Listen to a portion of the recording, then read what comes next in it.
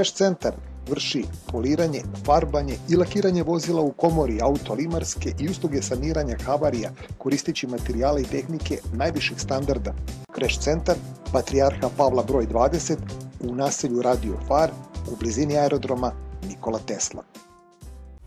Henex registracija vozila. Pozovite call centar i zakažite svoj termin i uz stručno osoblje na najbrži način na jednom mestu registrujte vaše vozilo. Svakom klijentu dodatni poklon na 8 lokacija u gradu, najbolji uslovi plaćanja do 12 rata bez kamate. Pomaže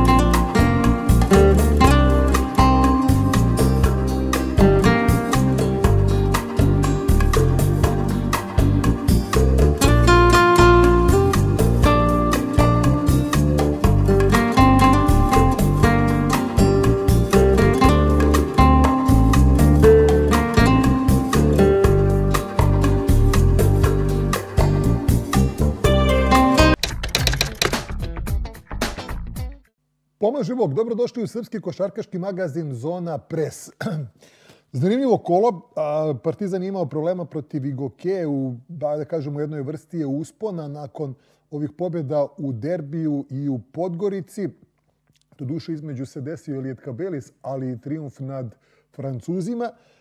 Partizan je već krenuo put Poljske da igra protiv Slaska u utorak. Budućnost u krizi činilo se da će posle tri uzastopna poraza od e, Zadra Partizana i u Evropi e, nakon ovog triumfa u, u Eurokupu protiv Grka vrati se na pobjednički kolozak, međutim desilo se veliko iznenađenje, poraz od studentskog centra u, u, u istoj dvorani u kojoj dele. E, eto, Mega je pobedila Partizana, ali kod kuće izgubila od Zadra Borca, sada i od Mornara, sjajna partija Barana u prvom redu Mihajlovića, Mijatovića, prostite. A, mnogo nekih mm, zanimljivosti koji, koji tek treba da budu nekog raspleta. Teško da će e, Rusi ostati u Eurokupovima, dakle da će se praviti nove tabele. E, sad da špekulišemo, ne znam koliko je umesno.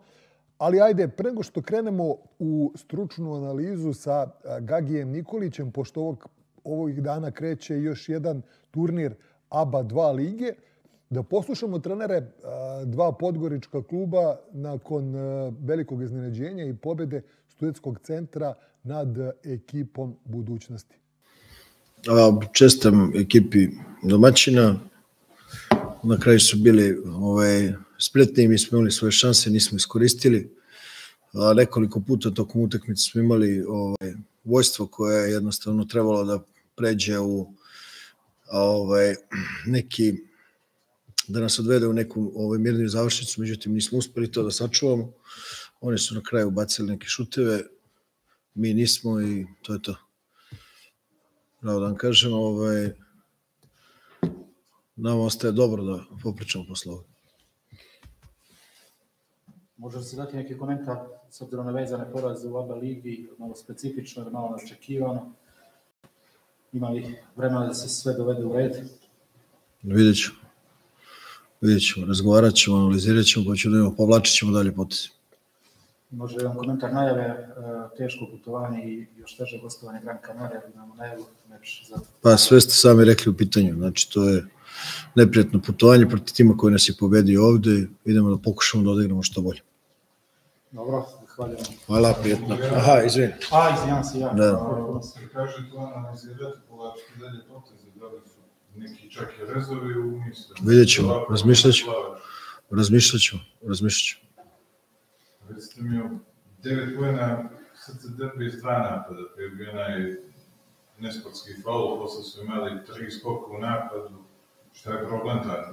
Je li tu koncentracija, želja, šta je? Ne, znam, ne, ne, mislim da nije, da nije ovaj, ne može baš da se prebaci da nije bila želja. Mislim, to nije moj utisak. To prosto nije moj utisak. Oni su na kraju bili spretniji, pritisak pobjede bio na nama, oni su to iskoristili, to je to.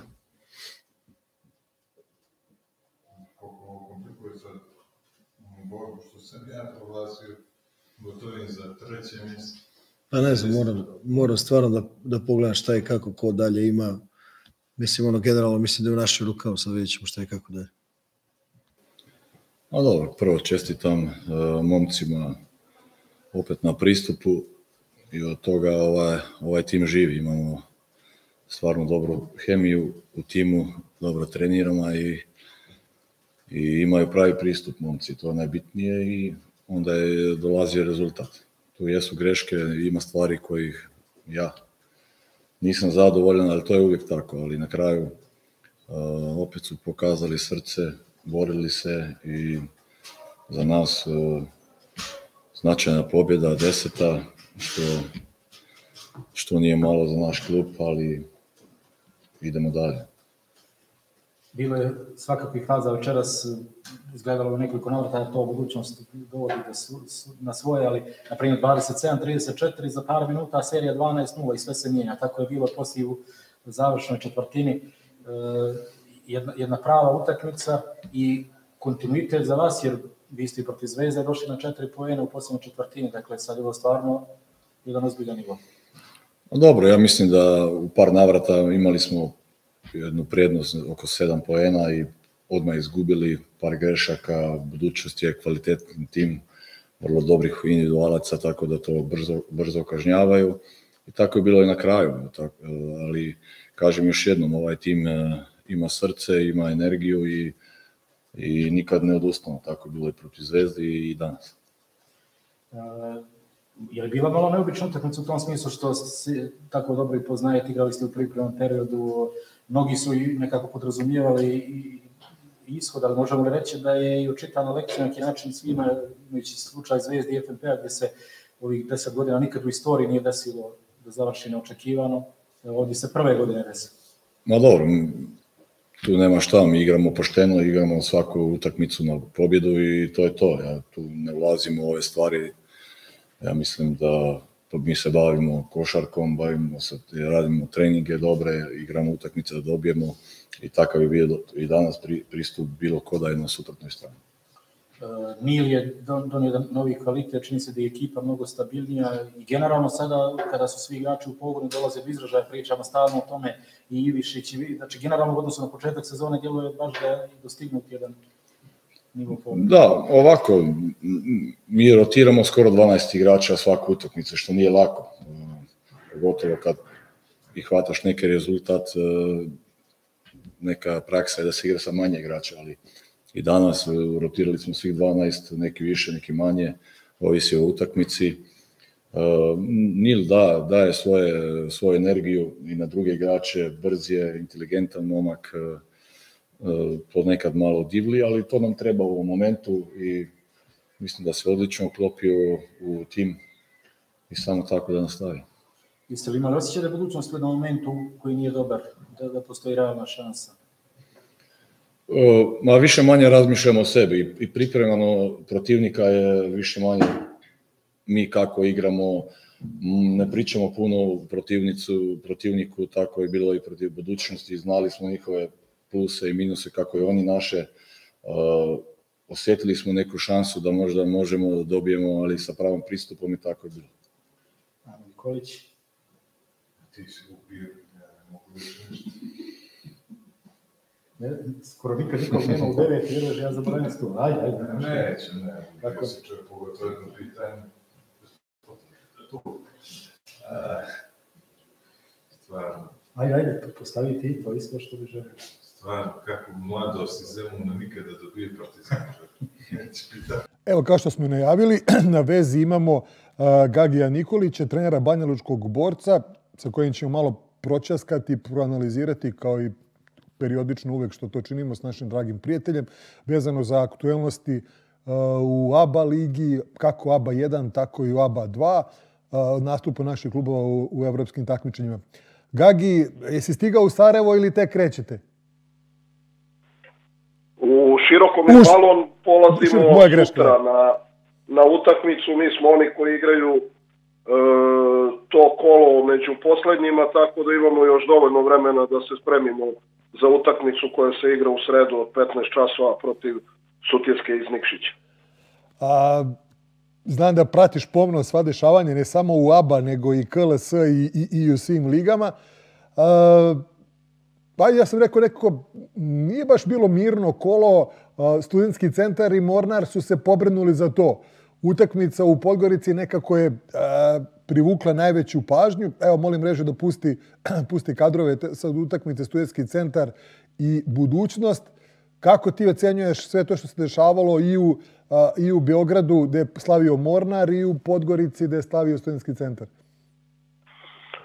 Što se tiče jednog od crnogorskih derbija, on je to stvarno bio, vidio sam kao jednu izuzetno bogatu utakmicu, e, gde je potpuno zasluženo centar slavio, odnosno iznenadio e, budućnost e, i pokazuje da manji klubovi e, mogu da pobede u ovoj ligi e, veće klubove čak i s kojima imaju određenu saradnju. I kažem još jedno sve čestitke studentskom centru na, na ovo sezonskim partijama, sad se uključio apsolutno i u, u borbu za, za play-off, odnosno za to peto ili e, šesto e, mesto. E, kažem, puno razigranih igrača, e, Kamenjaš kao MVP ABA lige, aktuelni, dobra partija, Nil koji očigledno tim bolje i dalje igra e, fantastično, Megi je bio u, u svojoj šuterskoj zoni, pogađuje pogađuje ovaj, šuteve za tri poena, e, tako da, da dodamo još i Edvarca, mlađe igrače koji su zaista ovaj, iskoristili svoju šansu i kažem, veoma e, prijatno iznenađenje ove sezone studentski e, centar. Budućnost, ovaj poraz u suštini ne boli mnogo, oni imaju u rukama još uvek to treće, treće mesto, jesu sada ono objektivno izgubili gotovo i teoretsku šansu da probaju da osvoje drugo mesto, ali mislim da će odbraniti to treće mesto s obzirom da je 2-0 protiv e, CDVita Olimpije u ligi, a budućnost definitivno vidim na poziciji broj 3, a student u borbi za play-off, to će naravno u petak, u subotu je njima odlučujuća utakmica play-off e, bitka u Laktašima, da je ipak veliku prednost dajem i Kej, ali eto, student je apsolutno zasluženo došao u priliku da se bori za play-off. E, pomenuo si CDVita Olimpiju koja čini se u velikom usponu. Pobjeda u Bolonji, tu možda je to najbolje ilustrovalo. Očigledno da su one tektonske promene urodile plodom, znači fantastičan Jogi Ferel, E, E, Dragić, Omić pokazali su se zaista kao velika pojačanja, imalo se poverenje očigledno Pulena Augusta, Murića i Blažića i oni trenutno deluju kao kazane ekspedicije. U poslednjih 11 e, utakmica pobedili su na 9, izgubili su sa poenom razlike u Podgorici, e, e sa dva poena razlike kod kuće proti Crvene zvezde, sve ostalo su bili više nego ubedljivi i Olimpija i dalje klub koji je i ekipa koja je u naletu, koja igra fantastično, evo u Zadru odigrala zaista dobru, dobru utakmicu, vodila je dosta, Zadar se vratio trojkama i dobrom partijom Mavre i Jordana, međutim, onda je opet usledila serija Olimpije, ali ponavljam, Olimpija zaista gotovo da deluje kao kaznena ekspedicija što se ABA lige tiče i u Eurokupu pričat ćemo o tome, imaju zaista dobar rezultat, bitno je bilo da se prođe ova prva faza, sve ekipe sa ovih prostora su to ostvarile uz čak 60% pobeda. A, ko su po tebi a, glavni favoriti da igraju ovaj baraž sa budućnosti Olimpijom? Kakav tu Na očekuješ? prvom mjestu raspad? to je Igokea. Igokea je postala zaista e, veliki klub po, po svim pitanjima i ja očekujem da oni neće ispustiti svoju šansu laktašima u utakmicama protiv studentskog centra. To je jedan od direktnih duela koji može da ih ta pobjeda odvede sigurno već u subotu u play-off. Imaće oni i gde da se e, vade posljednje kolo protiv Krke na svom terenu. Ja zaista verujem, a apsolutno ih zaslužuje po svemu i Dukeja da se i ove sezone nađe u play-offu. Um, manje je realno da oba učesnika play-offa budu dva najprijatnije iznenađenja ove sezone, a to su studentski centar i FNP. Ve, e, mislim da pre FMP nego studentski centar, iako studentski centar ima bolji međusobni skor, ali određeni određeni zaostatak FMP-u je bitno zaista bilo posle serije poraza da se da se vrati, pobedio je Cibonu u neizvesnoj završnici, demolirao je juče Krku u novom mestu, znači moglo je da bude, ne ovih 33, moglo je da, da bude i 40 i 50 razlike, tako su bar onako meni kad sam ih posmatrao na TV-u delovali. Molim već da mi pusti ova prve dva fajla, to su kadrovi iz Pionira, Partizan a, protiv Igoke. Igokea je pružila dostojan otpor, držala je Partizana do, do, do samog finiša. Ajde, dotakao se si Igoke, kako vidiš trenutno a, stanje Partizana? Ja sam najavio a, pobjeda u derbiju, pobjeda u Podgorici, pobjeda protiv Francuza, ali umeđu vremenu onaj debakl u Litvani, E sad vidjet ćemo uh, u naredna dva meča, u, na dva gostovanja u Poljskoj i u uh, Ljubljani pogotovo, uh, gde su crno-beli otprilike, ali pre nego što krenemo na, na taj deo, malo utakmici u Pioniru u subotu. Igokea je jako dobro otvorila tu utakmicu. Kolega Bajić je znao gde da napada Partizana, iskoristio je e, određene situacije, pa ne mogu baš da kažem i prednost na, na na low postu, ali zaista je unutrašnjom igrom i posebno uz fantastičnog Nikolu Tanaskovića na početku meča. Tanasko je dao polovinu, prednosti. polovinu poena i Goke je dao u prvom poluvremenu.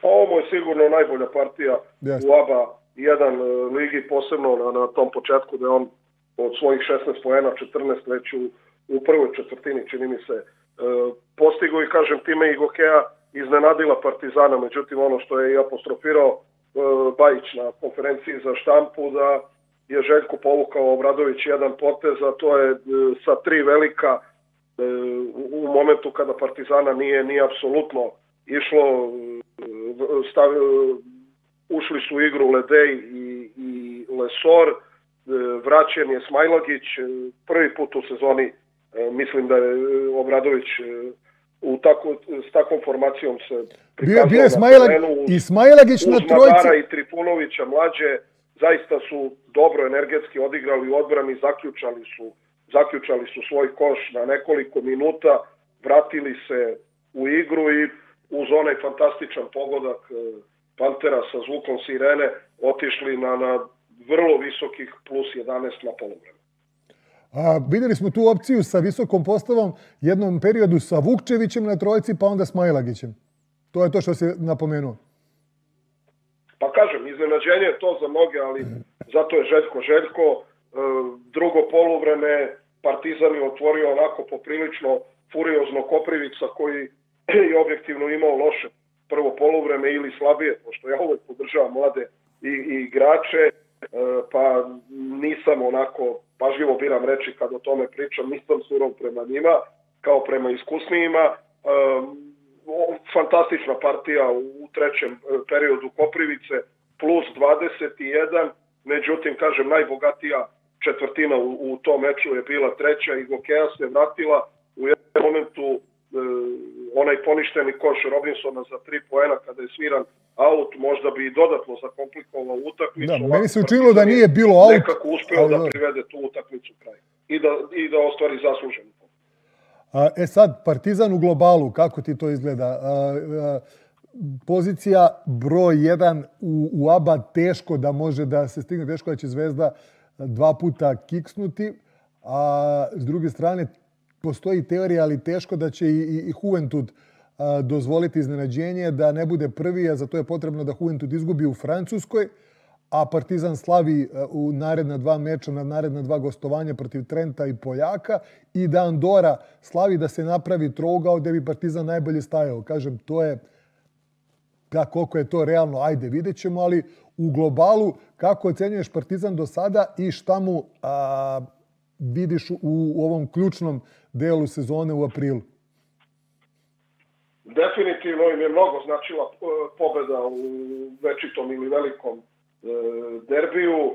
Dala im je krila, ja sam se pribojavao, to sam javno rekao, ove naredne utakmice u Litvaniji, ali na manje od 48 sati, uz e, ovaj, jako velik put, nažalost, i lošija partija i energetski u svakom pogledu, ali opet, e, posle toga usledila je reakcija, e, velika pobjeda u Podgorici, velika pobjeda protiv Parižana, jednog od najboljih trenera današnjih Sevan Kolea, dobra partija protiv Igokeja koja također je u usponu i mislim da je Partizan u ovom momentu u velikom naletu. Znači, svemu tome najzaslužnija ona pobjeda u velikom derbiju koja je dala Partizanu jednostavno krila i volao bi da Partizan nastavi u tom smeru da da odradi svoj posao, ono što si rekao, jeste, ima partizan, još jednom da ponovimo za, za čime da žali, onaj fenomenalni pogodak Skuči Smith je mega dobio u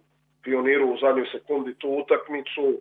Um, u derbiju su imali plus 18, tako da je bilo prilike da možda se nada i prvo mesto, ovako po meni Zvezda će osvojiti to prvo mesto, imaće veliku prednost u, u play-offu, ali ako se gleda samo dvorište Partizana, stvari idu u mnogo boljem smeru trenutno. Partizan u nedelju gostuje Olimpiji, bit će zanimljivo. Očekuje se spektakl. Cidevito Olimpija koja je također u velikom usponu u Evropi. U, koja... naletu, da, koja... u velikom naletu. Ja očekujem zaista sjajan meč i nadam se da ćemo svi uživati u košarci. Nezahvalna je prognoza, smatram 50-50 da. i da je veoma otvoren meč. Partizan, budućnost Olimpija u Evrokupu. Budućnost je na, na trećem mjestu, ali gostuje Gran Canari. CDVita Olimpija je sada u boljem međusobnom skoru sa Virtusom, ali budućnost ima bolji skor i sa Olimpijom i sa Virtusom tu međusobno. Gran Canaria i Valencija se kolju za prvo mesto. Prekao sam kakva je situacija oko Partizana koji opet mora da dobije bar jedan od ova dva meča da bi i teorijski a, bio bolji od tima Nenada Čanka. Jer kažem, sigurno će se ono menjati tabela nakon ruske, eliminacije ruskih timova.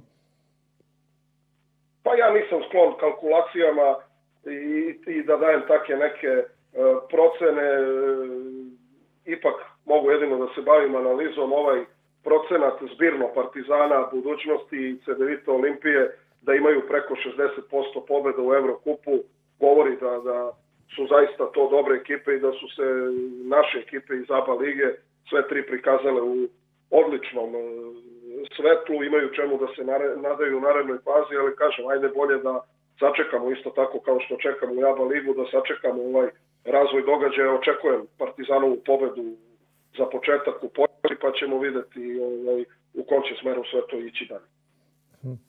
Dobro. E, Zvezda u Euroligi... Nisam u onom momentu jedino pitao si me za hm, utakmicu, propustili smo Mega... E, da, Mega Mornar, da. Komentarišemo. Pa ja bi ovako posmatrao, Megu ne posmatram nikada kroz jednu utakmicu, posmatram je kroz ovih devet sezona.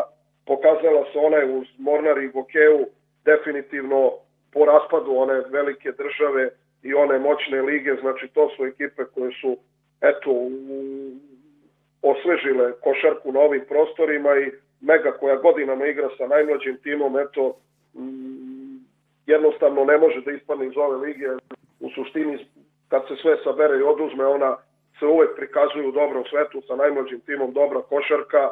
Ovde bi pre rekao, takođe i Mornar koji je imao nešto veće ambicije na početku sezone, ali oni, ne znam, 0-6, 0-7, kada su svi mislili da je Mornar jedan od najozbiljnijih kandidata za ispadanje, ja sam ti rekao da će i tada ovaj, braća Pavićević da donesu mnoge dobre odluke i da neće biti govora o tome da Mornar dođe u, u takvu vrstu opasnosti. juče su odigrali sjajan meč, Megu nije išao šut za tri poena, ali ja bi iz tog meča izvukao ono što će ostati za sva vremena u ABA ligi, a to je 46 poena Vladimira Mihajlovića.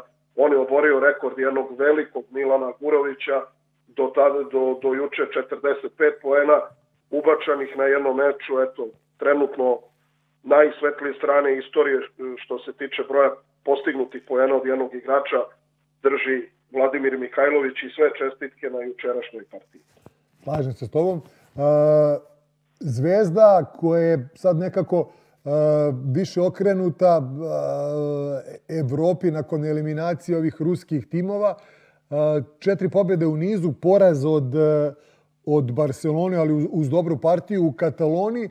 I sad, dokle tu može Zvezda, dva gostovanja u Nemačkoj, ima došlo do nekih pomjeranja, Bayern je u problemu sa koronom, gostovanje u Litvani i FS kući. Može li Zvezda u osam? Ako je to poslednje kolo protiv Efesa eh, u Beogradu, mislim da Zvezda će imati veliku šansu da uđe u top 8. Za to, za početak, da bi se to desilo, ima tri gostovanja na papiru, sigurno izgledaju lakše nego gostovanje u Madridu ili Barceloni, ali ovaj, Bayern i Alba i Žalgiris koji je popravio svoju formu na kraju i rezultat, nisu laki protivnici kada, kada se gostuje. Zvezdi će za to trebati između jedne i dve pobede, dve garantuju da ima sve u svojim rukama, jedna možda i ne, ali slažem se s tobom da će ona do kraja sezone, ako danas izgura utakmicu u Zagrebu, da, da samo ostvari pobedu, sve, sve snage će okrenuti ka Euroligi i koncentrisat će se posebno na jednu stranu bole mrežu i za ovo posljednje pokrivanje, a to je ono što je tebi najbliže i naravno najbitnije. Predstojeći turnir e, uh, ABA 2, šta očekuješ tu, u prvom redu i od svog tima, a onda i od, uh, i od ostalih ekipa i kako situacije, mada takav je sistem takmičenja, malte ne kao Eurokupu, da ono glavno tek treba da sledi i to u jednom danu upada cela sezona? Pa mislim da će najveća koncentracija biti na tom završnom e, balonu gde će se i doći ćemo vidjet ćemo ko će doći do toča svih mečeva 13. 15. 17. april u Skoplju MZT domaćin tog završnog i finalnog turnira i po meni samim tim i najveći favorit za, za osvajanje ABA dva lige, već nekoliko klubova je faktički gotovo i teoretski osiguralo učešće u play-offu, među njima je i moj borac, naravno ne idemo motivisani kada je ABA liga u pitanju, posebno ja i mislim da znam da motiviše moj tim kada se igraju utakmice u ABA ligi. Um, imamo utakmicu sreda, petak, nedelja, nimalo lake protivnike, Sutjeska, um, MZT, derbi prvenstva i posle na kraju Vojvodina sa najzvučnijim imenom ABA 2 lige. Nimalo lako ovaj, balon za nas, ali nadam se da ćemo otići spremni i možda konačno kompletni. Očekujem da se u širokom da će mm, sve to biti dobro organizovano i da će biti opet puno kvalitetnih i izjednačenih utakmica širok jedan, kažemo, turnir u širokom jedan probni balon. Svi pričaju uh, o finalu MZT Borac. Može li neko da pomuti te priče po tebi i ko je najbliži tome? Drago mi je što pomenju košarkaški klub Borac, iako su u četiri najslabija ili najmanja budžeta u ligi, ali eto, to mi je posebno zadovoljstvo eto, da, ovaj, da Borac vrstavaju red favorita. Široki trenutno igra izuzetno dobru košarku, Kelios već dugo vremena nije izgubio utakmicu u ABA 2 ligi. Pre nekoliko dana je demolirao Krku u slovenačkom prvenstvu. Na kraju jedina ekipa koja je nas pobedila, do duše u drugom produžetku, ali u Banja Luci. I to su neki onako glavni favoriti. Zemunska mladost se e, diže, ja ih sigurno vidim kao učesnike play-offa. Dobro su odigrali posljednjih par utakmica u KLS-u kad su konačno se ovaj, sastavili, ako su i oni najviše ove sezone, što se kaže, oštećeni yes. povredama i koronom i sveopštom situacijom. Zlatibor, pobednik Košarkaške lige Srbije, takođe očekujemo u play-offu, pa ćemo, pa ćemo videti kako će sve to izgledati širokom, ali posebno ono što sve zanima, to su predstojeće utakmice, odnosno onaj poslednji balon u Skopju. Evo da iskoristimo priliku i sam si pomenuo za kraj, to sam ostavio da čestitamo čajetincima na, na osvajanju Košarkaške lige Srbije. A, kako si tu ispratio i tu je bila nikad jača liga, da kažemo, i zanimljivija nego ove sezone, iako je, eto, Čajetina tri kola pred kraju obezbedila tu poziciju na kojoj se trenutno nalazi. Pa to je za svaku pohvalu. Ovaj, pratim Košarkašku ligu Srbije, imam ovaj, dobar uvid u sve to šta se dešava i one dobre stvari i one, nažalost, neke lošije stvari, ali kažemo ovaj, zasluženo Zlatibor po svemu kako igra ove se e, sezone i još jedno sve čestitke od Rajka pa nadalje svih dragih ljudi tamo na Zlatiboru za ovaj veliki uspeh. E, sloga je u ovom momentu naj, najbliža ABA 2 ligi i to bi bilo baš prijatno iznenađenje. U igri naravno još i Vojvodina, Zemunska, Mladost i Sloboda iz Užica. Dole se poprilično zakovalo, jedna ekipa je davno ispala iz e, lige, ali za ovu drugu, znači ima tu nekoliko kandidata za ostanak, tri kola do kraja, kraja bit će tu još svega i svačega u Košarkaškoj ligi Srbije, ali tamo što, se, što ja kažem, nikad dosadno. Gagi, hvala ti na izdvojenom vremenu, srećen put za, za Hercegovinu, pa se čujemo sljedeći put, nadam se, lepim povodom. Hvala i tebi još jednom pozdrav za sve gledalce SOS kanala. Eto, čuli smo Gagija Nikolića, da čujemo šta je Željko Bradović rekao nakon pobjede u subotu u Pioniru, pa idemo dalje. Dobro večer svi. Pa utakmica je bilo slično početak onoj koji smo igrali u protiv njih. Oni su tim koji menja odbranu i pokušavaju stalno da uvedu protivničku ekipu kontra ritam. I to su uspjeli realno u prvoj čestini. Promenili smo sve u drugoj, pre svega odbrameno, rastrčali se, davali laka pejanu kontranapad i čitali tu njihovu odbranu. I to negde bio ključ utakmice, početak drugog vremena takođe, da smo napravili tu ozbiljnu razliku, ali oni su tim koji se nikad ne predaje i probali su se vratiti u utakmicu. Čestitki igračima na pobedi i hvala navijačima na sjajne podršci još jednom. Hvala gospodine Bradoviću. Da li imate pitanja za trenera Partizana? Nisu koliko imate, molim vas da se predstavite i kažete iz koje redakcije dolazite. Mogu ja da vidim kako se žurnal Balša i došao sa nekim problemom, sve okej Da, doktor kaže, mamo, kaže da je u redu, ali ćemo ispratiti noćas kako će reagati kad se bude ohladio.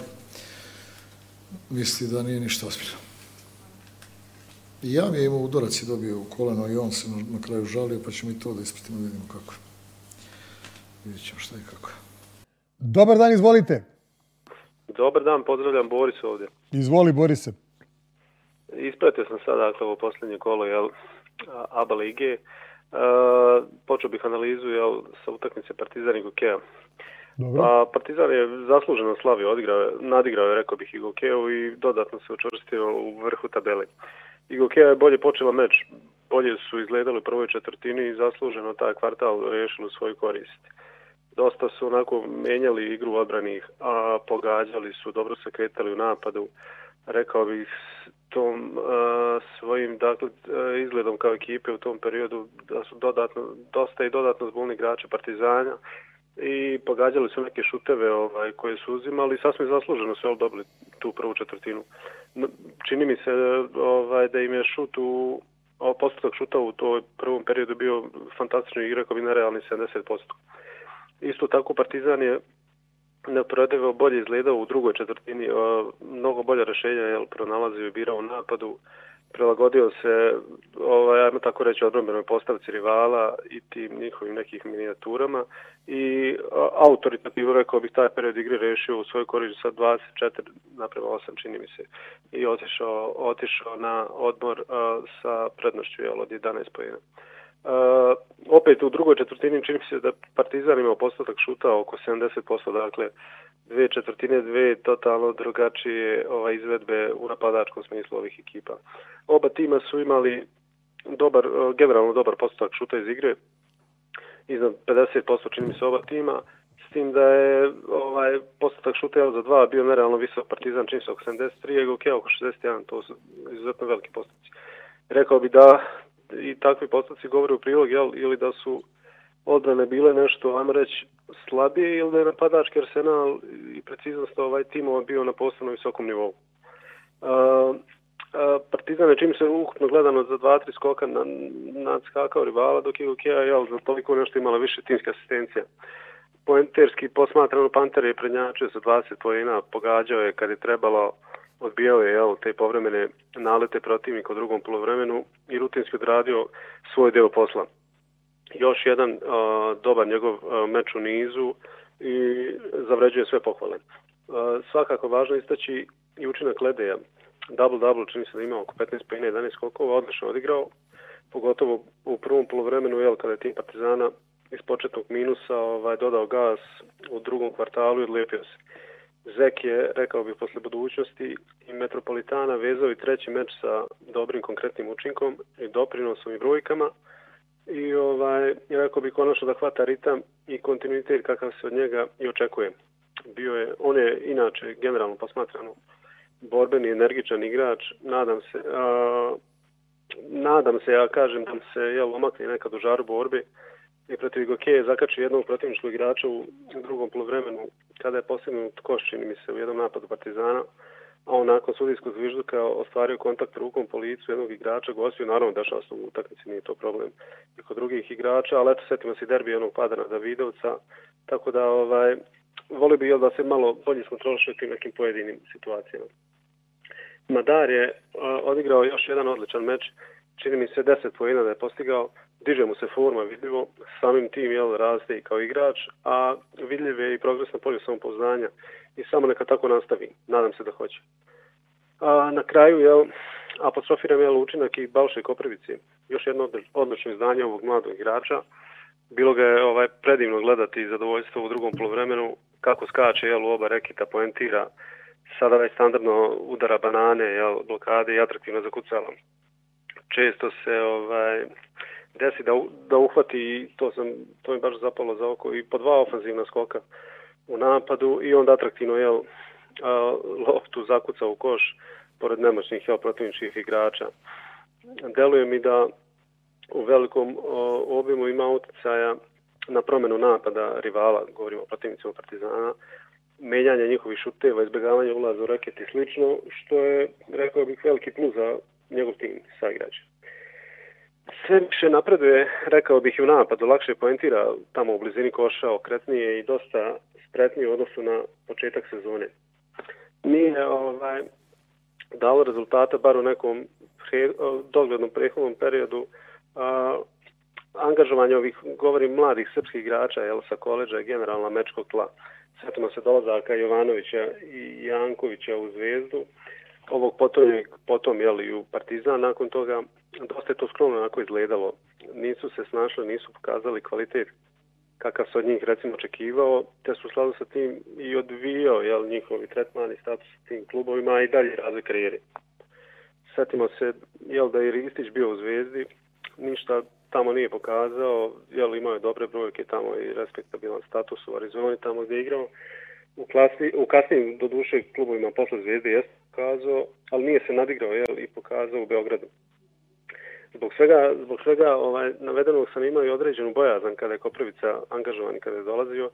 Međutim, dečko za sada pokazuje da je to bio jedan od najboljih poteza uprave, ako ne i najbolji posmatrano ovaj, u odnosu na srazmere uloženog, dobijenog i plaćenog sjenku na pobedu baca, rekao bih, ona njegova povreda, kao i povreda Madara. Nemam nikakve informacije za sada o njoj, bar što se tiče ovih medija, nisam ispratio. U redu je, nisu teže povređeni. Šta da je? U redu je, nisu teže. E, hvala Bogu. Htio sam reći, nadam se da nije teže prirode i mislio sam da će biti u redu, ali eto super, ako je tako. Uh, kod gostiju je prednjačio Volera, na tabe Voler. Ja njega pamtim još da je igrao u Mornaru. Da. Odlično odigrao drugo, drugo polovreme, bio tamo najefikasniji i pokazuje da je izuzetno opasan šuter kada ga krene, kad mu se dozvoli da se razmaši. Iskreno, mene uvijek milina njega gledati u tim momentima kada ga krene, jel? Ovaj, ima izuzetno brzo ne, i precizan izbačaj, ima dobru promjenu ritma, ima onaj šut iz riblinga, jel, često se spusti dole pa se brzo gore digne i šutira i ovaj, e, većinom i pogađa u tim situacijama. Onako fizički mi je vižljas, nije neke preterane jel, fizičke građe i snage, posjeća fizički na Pantera, a, ali nadostaje mu naravno konstantnost ovaj, za neki iskorak u karijeri. Vidio sam tamo da je Tanasković odigrao izuzetno dobar meč. Bio rekao bi X faktor u prvom ovaj, kvartalu, tamo četvrtini, bio je napadački raspoložen i lepo se predstavio policiju pioniru, ajde sećam ga se ono kad je bio partizanu, pa drago mi zbog toga. Izvojio bih još ono Stevensa Crnca, kako već, ono, centra dole, ovaj, izuzetno je kvalitetan i zanimljiv igrač, bar men. Par navrata je, rekao bih, atraktivno poentirao iz teških situacija. Ono, sećam se, on skoči pa promijeni ruku u vazduhu pored ovih visokih igrača Partizana, odakle uvijek prijeti ovaj, vreba opasnost blokade. On je to par puta pogađao, i iznudio dodatno bacanje. Čini mi se da Dalibor Ilić ne igrao, tako? Da, zbog zdravstvenih problema. Da, dobro osjetilo se njegov Što je veliki hendikep za Igokeju. Ja, e, sada gledao sam derbi, ovaj, budućnost meča. Podgorički, da. Da, Podgorički. Evo, režija pušta kadrove iz Podgorice, vi izneste vaše mišljenje. Odnosno sud, kako ste videli? Dobio, znači derbi je pobjedio budućnost, rekao bi zasluženo. Ja sam za njih baš u jednom od prijehodnih javljanja, ako ne bi poslednjem ovdje kod vas, rekao da su mi uslov rečeno da bi manje ekipa najprijatnije za inđenje ove godine. Dobro, sad ove četiri prve u svaki godine su tu, dakle od pete pa nadalje pozicije mislim na te manje. I ovaj, ima i dosta mladih igrača u timu, ima iskusnih igrača kao što je Pavličević i dobar su spoj mladosti i iskustva. Po meni to odlično izgleda za sada. Isto tako treba jel, istaći da su dobro vođeni od strane stratega Žakule, da ne zaboravili to i te njegove mm -hmm. zasluge. Bio je dobar neizvjestan meč, uh, ekipe su se smenjivale u vojstvu, u drugoj i trećoj četvrtini je delovalo da budućnost da se konsolidovala, da je odbila napade za domaćina, međutim podbacili su poslednje četvrtini i izgubili su 7-8 razlike, derbi je zasluženo oslavio. Uh, obzirom da ne treba smrti, ja rekao bih suma da su oni prošle godine igrali oba dva ligu, da su ispod radara, eto, na primjer, doveli Kamenjaša i Sarajevskih Sparsa, da su isto tako doveli određene ne, neafirmisane ove strance, nepoznate široj sportskoj javnosti, među kojima su pa eto Vinalest, Megi, Nil, da domaće mečeve jel igraju u Podgorici, to je Morači, gde je gru navijača naklonjen budućnosti i slično, dakle nema i nešto taj domaći teren, da kažemo, i neku publiku, ovaj, ali uprko svemu tome postižu dobre rezultate, rekao bih, u odnosu na sve to. Kamiljan Šeto, on je otkrovljenje sezone na poziciji mle 5, jel? tako mlada, konstantan igrač, kontinuitet, fizički je jak, dobar skakač, apsolutno pun pogledak derbija je njegov angažovanje. Videli smo kako je isparirao Vilio Ridu dole, jel, u reketu. Pre svega fizički kontakt igrom, a potom i skokovima i datim poenima u napadu. Isto tako ovaj Hadžibegović odlično odigrao, pogađao trojke kad je trebalo i on sve sigurnost igri domaći. Imao čim se 7 skokova, ali bio je blizu tog nekog double, double učinka. Ovaj Megi, onaj šuter, meni lično izuzetno interesantan igrač. Uh, on je onako dobar, čvrst, fizički sa dobrim šutem, sa dobrim jeldometom, posebno za tri pojena on je opet čim se dao 15 pojena, imao je pet, ne znam da li skokova asistencija, tako da odigrao all round meč i on dobar, izuzetno dobra predstava njegova. A, također je pomenuo pored njih dvojice Edvarsa i Mila, ovaj, odlične partije su imali obojica i dali veliki doprinos. Mil ovaj, se izuzetno dobro je uklopio od kada je došao i zamenio povređenog Vinalesa. Odlično igra, postiže dakle pojene, razigrava i ono što iznenađuje je izuzetna prisutnost na skoku, rekao bih, u skoro svakom meču, iako fizički inferioran, što je za svaku pohvalu. Dakle, ovaj, e, ne znamo dakle došao iskreno u derbi, ali se, ali se odlično uklopio u njihov roster i ritam i fizionomiju tim. Ne treba jel, zaboraviti da je Vinales, onaj start njihov play s početka sezone, imao strašno dobar početak sezone, da je često izluđivao, tako da kažem, protivnička je davao dosta pojena, bio je udvajan i sve pronalazio rešenja i ovaj, svi su mislili kad se on povredio da će ekipa pasti. Pa ono, par utakmica što sam gledao, mislio sam i ja iskreno da će imati loš učinak, međutim oni su uprko svom tome se nekako trgli, zaigrali i bolje, rekao bih i sada su ovaj, istaš kandidatur za to šesto mesto jel, koje vodi u play-off. Eh, kad već pominjem Kamenjaša, ovaj, da kažem da Aba Liga, eto, ima, na primjer, navodim mlađe igrače, centre, Koprivicu, Kamenjaša, Matkovića, Pavićevića, ne znam, oni mi padaju ovako na pamet, ovaj, na prvu, uh, i da su to nadolazeći igrači na toj poziciji pet, koji već sada jel, dobijaju prostor i isporučuju konkretan doprinos svojim timovima, što je svakako za pohvali optimizam, obzirom da je pozicija centra dosta deficitarna u Evropi. Dakle, kako dobro je za te sami igrače, tako posredstvom toga i za njihove klubove, a i za ligu, ABA ligu generalno u celini. Pa, na primjer, Matković, ja sam sticam okolnosti prenazan kada je to bilo pre 15. dana, gledao njega u dresu, u dresu Hrvatske, igrali su oni kvalifikacije, šta prozore, ne znam, sa Švedskom. I dečko ih je tamo sam nosio, bukvalno ovaj, omogućio im pobedu i zaista odlično izgleda, jel, a to je plod ovaj, klubskog razvoja što je imao neki. Uh, e, budućnost je, a, kod njih je standardno kov sprednjači, jel, ovo meču mu se pridruži vrlo dobri Atić, a svakako ovaj, ukazao bih i na učinak Danila Nikolića, čini se da mu ovo dvocifren bio prvi dvocifren učinak od povratka na parket posle povrede i nadam se da će nastaviti u tom ritmu. Dobar, izuzetni igrač čovjek. E sad uvek ima onih, ajde kažemo, zluradih, jel, koji će možda reći da je budućnost ovaj, svesno pustila derbi, jel, eventualno. Da, čuo sam za tu priču da bi, da bi a, studentski centar ušao u, u opciju za onaj baraž rundu play-offa. Da, da bi oni bili šesti, jel, i da bi eventualno krstili s njima, ali ja u te stvari ne znam, ne verujem, a želim da verujem. Mada vidjet ćemo kako će se odvijati. Činjenice, na primjer, da bi budućnosti bilo, sajmo sad reći, lakše radi putovanja, ili bi ove mečeve igrali sa njima u Morači kući, dakle, u Podgorici, a ne, na primjer, u Beogradu protiv FNP-a. Ali videli smo kako sada prošli kada im je pobjeda isto tako bila bitna, govorim, za budućnost. To je jedno, a druga stvar je, nisam siguran uh, koji je trenutno u boljoj formi i koga bi više htjeli. Njih ili FNP, obe ekipe su izuzetno nezgodne i izuzetno, izuzetno dobro igraju u posljednje vrijeme. Tako da ovaj, vidjet ćemo šta će to biti. Slijedi njima borba za šesto mjesto, mada FNP realno čini se ima dve pobjede više i meč manje, tako da, ali eto, ljudi, ovdje derbi pričam, ljudi se boraju, pa svaka im čas vidjet ćemo šta će biti na kraju. Jeste. Ovaj, E, što se tiče ostali mečeva, vidio sam se vidite zadar gostima, jel, nevjerojatno su seriji. Ovaj prednjačili kod njih tamo standardni Pulen, Blažić, Fereli, Ogast. Ovo im je čini se 12 plus, sad ne znam koja je tačno pobjeda u nizu. Ovaj, a, mislim da mogu napraviti oni veliki problema jel, onom timu ili timovima sa kojima budu ukrštali kako Eurokupu, tako i Aba Ligi. Ovaj, Omić se vidio sam odlično uklopio, nesumnjivo je dobar igrač i to se vidi jeli, po njegovim igrama i po igrama cijele ekipe. FNP juče demolirao Krku, imaju sad dve pobjede više i meč manje od derbija.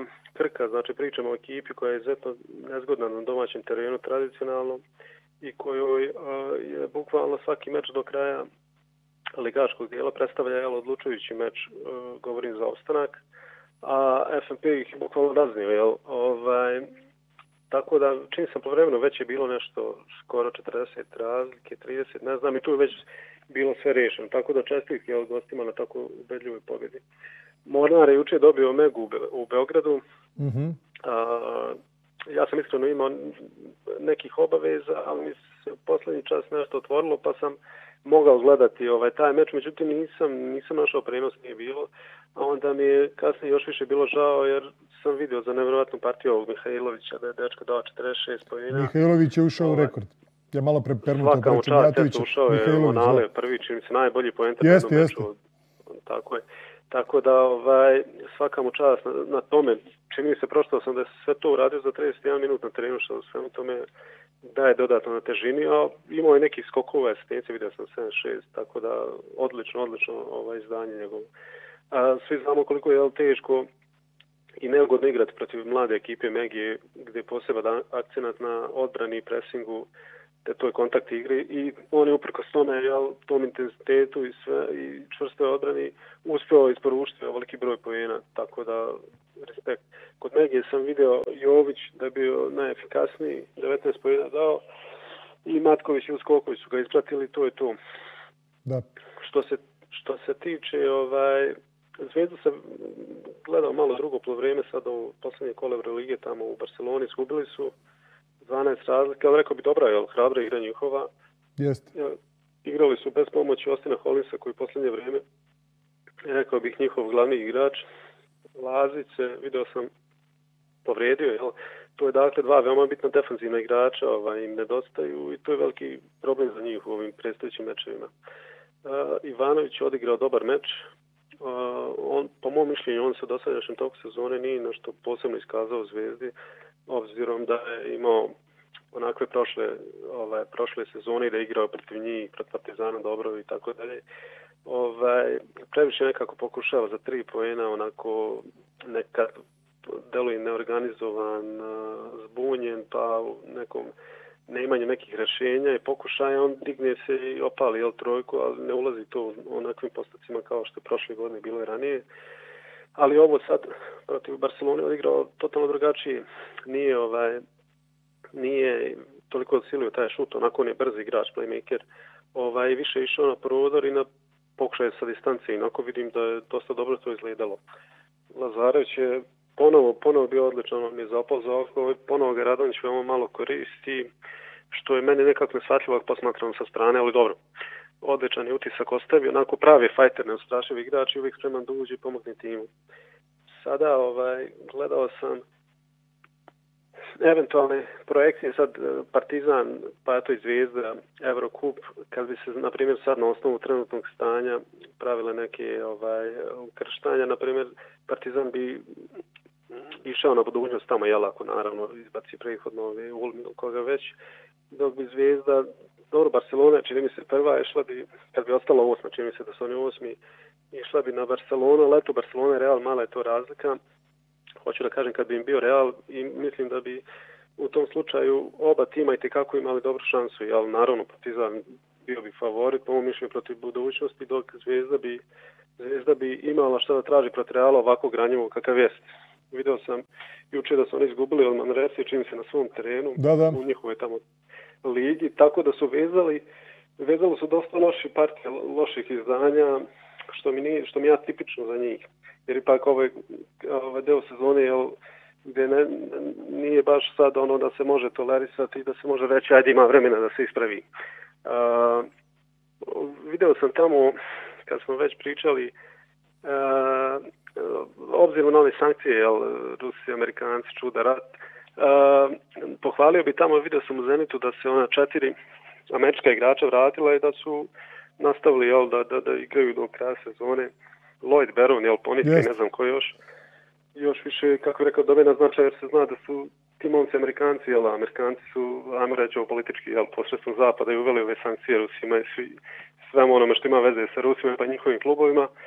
Tako da, ovaj, lep potez od strane njih, onako zaslužuje, zaslužuje čestitke po mom mišljenju. Tako da, ovaj, to bi eto ukratko bilo to, ne, ovaj, što se tiče ovoga. Dobro, hvala na javljanju. Hajdemo da čujemo još jedan blok izjava iz Pionira, pa nastavljamo.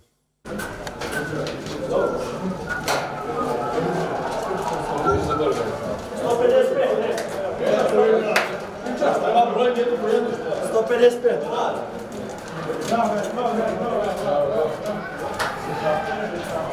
Čekaj. Smeli tvoje viđenje utakmice? Pa, znali smo da je Igokea jako nezgodna ekipa, pripremali smo se, nismo teli da pocenimo ekipu, malo smo slabije krenuli, ali popravilo se od druge četvrtine. Odlepili ste se na preko 20 vrlo brzo na početku drugog polovrine, ali ih do pet dopustili da se vrate na jednocifren minus. Jeste, možda smo se malo bili opustili, ali tu je bio Željko da nas vrati u normalu i da, da nas vrati na pravi put. Šta dalje? Pa dalje sutra ponovo trening, spremamo se, nema opuštanja, dižemo formu polako i spremamo se da osvojimo. Se vraćaš u staru formu s početka sezone? Da, polako, da sigurno biti spreman do kraja. Da mislio si nišanske sprave na kraju? Na kraju, to mi je bilo jako potrebno da za sljedeću danedi period. Da vidim prva prva da uđe, da bi sve naredni bilo lakše. Hvala sredstvo. Hvala puno.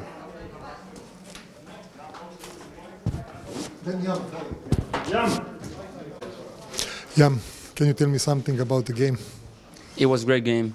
Uh, I think fans uh, who came out and support us gave us a lot of energy to come and play uh, to win this game, and it was a great game for us. Your game? Just another game. It was great that uh, I was able to help the team to to win, and it was important just to, to keep winning, to keep moving forward. Uh, next game in Poland? Tough game. We need to prepare. We need to come ready. It's it's in Tuesday, so we, we need to take care of our body uh, and get ready. Thank you. Good luck. Thank you. Thank you.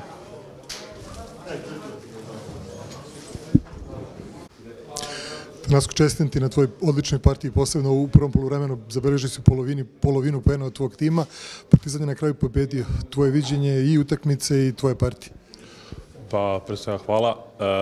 Uh, ušli smo loše u drugo polovreme, dozvolili im 10-0 u roku od dva minuta i posle, oni su uspeli da, da održe tu razliku do kraja. To je to. A moja partija, pa zad, naravno sam zadovoljan, ali kad izgubiš ne možeš biti toliko zadovoljan. Hvala sve. Ništa, hvala vam. Idemo dalje, dobar dan, izvolite. Poštovanje Vladane, Vule Popović, pozdrav iz Sunčane Podgorice, ugrijalo je. Vule, odmah ću u glavu da te pitam što me pitalo 90% ljudi. Je li budućnost pustila studentski centar da bi ušao u šest? Pa isto kao sad, što ću ja postat predsjednik Srbije umjesto Aleksandra Vučića, tako je i budućnost pustila E, studentski centar. Moje je da pitam, a tvoje da odgovoriš. To su, mi, to su mi zapeli namešteno, namešteno, namešteno. Sam ja objavio, rekao, eto, ovaj čujena priča o sukubu interesa. U dva duela budućnosti i studentski centar, studentski centar ima već jednu pobedu. E pa evo, evo vladane svim tim ljudima i Gokeja, samo kažem, i Gokeja je osam puta pobedila Partizana, pošto je čujena priča o Igokeji i Partizanu, ljudi koji ne umeju koja da opravdaju veze, cirkus koji se radi sa zvezdom i radničkim. Dodirnih tačaka nemaju Igokeji i Partizan.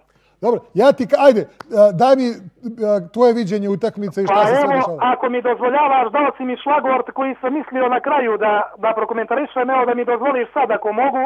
Evo svim tim navijačima ovaj, i Čovića i FNP-a i svim navijačima u regionu i svim gledalcima koja, jer ovo je jedna istorijska emisija koja ima svoj vijek trajanja i koja traje i koja će još trajati ovaj dokaz kako funkcionišu studentski centar i budućnost. Znači, studentski centar i budućnost nisu isto što je FNP i Crvena zvijezda. Studentski centar ne služi Draganu Bokanu kao potočni bojler za pranje para i za punjenje džepova, nego studentski centar je klub Rastodera, što je Vuleca Popović od prvoga kola ABA lige rekao da nema Dragan Bokan nikakve sličnosti sa tom utakmicom I, i sa tim klubom. Znači, studentski centar Vladane Tegelzija drži Rastoder i igrači studentskog centra imaju definisano ugovorom premije na, za pobjede protiv e, Partizana, Zvijezde i budućnosti stoji ugovor i oni su tu premiju da nas dobile, ja neću iznositi koliko. E, znači... Boga mi malo je falilo i protiv Partizana, da Lede nije dao onu trojku iz Ćoška, svašta bi bilo. Ja, pa ja pričam i da sudija malo nije pogurao, ako ćemo pošteno, mada je meni milo što je tu Partizan dobio, ja pošteno pričam.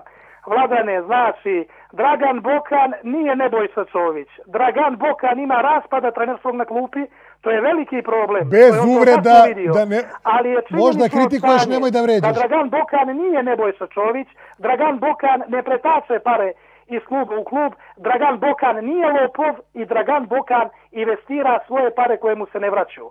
Svaki euro koji je dao Nebojša Čović naplatio je puta deset. Tako, toliko o sukobu interesa i o bilo čemu, znači da razjasnimo to, ja kažem, partije, ovaj, budućnost je pustila studentski centar isto kao što ću ja postati predsjednik Srbije umjesto Aleksandra Vučića. Eto, ja javno to kažem. I znači, ova priča da, budućno, da bi bilo lakše budućnosti u četvrt finalu... Kako, a kao je moj vladane Pretpostavljam da su i Podgorici to priča ili ne? Oni, ništa, laž čista, bre, oni su imali, imali su sastanak s njima i moj Dragan sastanak dan uoči utakmice kad ih je sve okupio, kad im je rekao što traži i kako njih traži, tražila se pobjeda, tražilo se vladane da se izgura ovo da budemo treći u Eurokup. Ali mi vladane, nema igre tu, nema ništa svako ko je, ja sam to najavio u vašu emisiju, ako se sjećate, kad ste mi vi rekli da pretjerujem i kad su mi mnogi dušobriznici govorili kako lupam i, i, i, i gluposti koji me kao slušaju, ono, a sve pričam istinu, a boli ih što ja pričam istinu, jer ja jedno slovo Vladane Tegeltija u vašu emisiju nisam slagao od prvog uključenja do današnjeg uključenja. Nisam danas rekao kolika je premija igračima studentskog centra, jer im ja ne dajem pare i nisam onda rekao koliko je Dejan Radonjić imao ponudu na stolu da preuzme budućnost, jer mu ja opet ne dajem pare. Tako, sve ostalo reka sam od A do Š istinu. Ovo je jedna velika bruka vladane Tegeltija, jedna velika sramota za grad, jedna velika sramota za klub, jedna, jedno veliko poližavanje kluba koji, koji je napravio jedne ozbiljne korake u zadnjih 5-6 godina. Budućnost je jedan od najozbiljnijih klubova u ABA ligi, je možda i najozbiljniji. Znači, sa Federitom što se tiče plaćanja, što se tiče svega od prvoga dana, Partizan je ozbiljen, ne, dolaskom je Jovića te plate ne kasne, to znam. Znači, ali budućnost je od prvog dana sve to bilo i sve i dan danas u minut ono što se kaže. Ali, Vladane, ko, ko ima malo inteligencije i malo košarkaškog znanja, vidio je da ovo, znači, posle ne pobjede u Eurocup, ja sam rekao, Vladane, da to ne liči ni našta i da je to bilo tragikomedija i gledati Dragane, e, ovaj, Vladane Tegeltije mučno za oči, jer ono je završeno individualno. Igrali smo protiv ekipe, prijatelju, koja je u mnogo boljoj formi od nas i ta nas je ekipa sasvim zasluženo dobila. A objasnio sam razliku između studentskog centra i FNP-a. FNP p-a ne smije da pobjedi zvijezdu, FNP je Čovićev klub, FNP služi za pretakanje para i za pljačkanje para i uzimanje para na račun Nebojša Pazi šta pričaš bez, bez... Ja pričam istinu. To je činjenično stanje, to je Crvena zvijezda. FNP i Crvena zvijezda su dva kluba Nebojša Čovića. To svi znaju i to Vuleta Popović kaže, a to Nebojša Čović zna. Ja ga ne vrijeđam, nema potrebe. Ništa mi nije skrivio ovaj, ne bi ga ni onda da nije ono bilo vrijezanje Bokana u pionir kad sam rekao ovo što sad kažem, razliku između Dragana Bokana i Nebojše Čovića.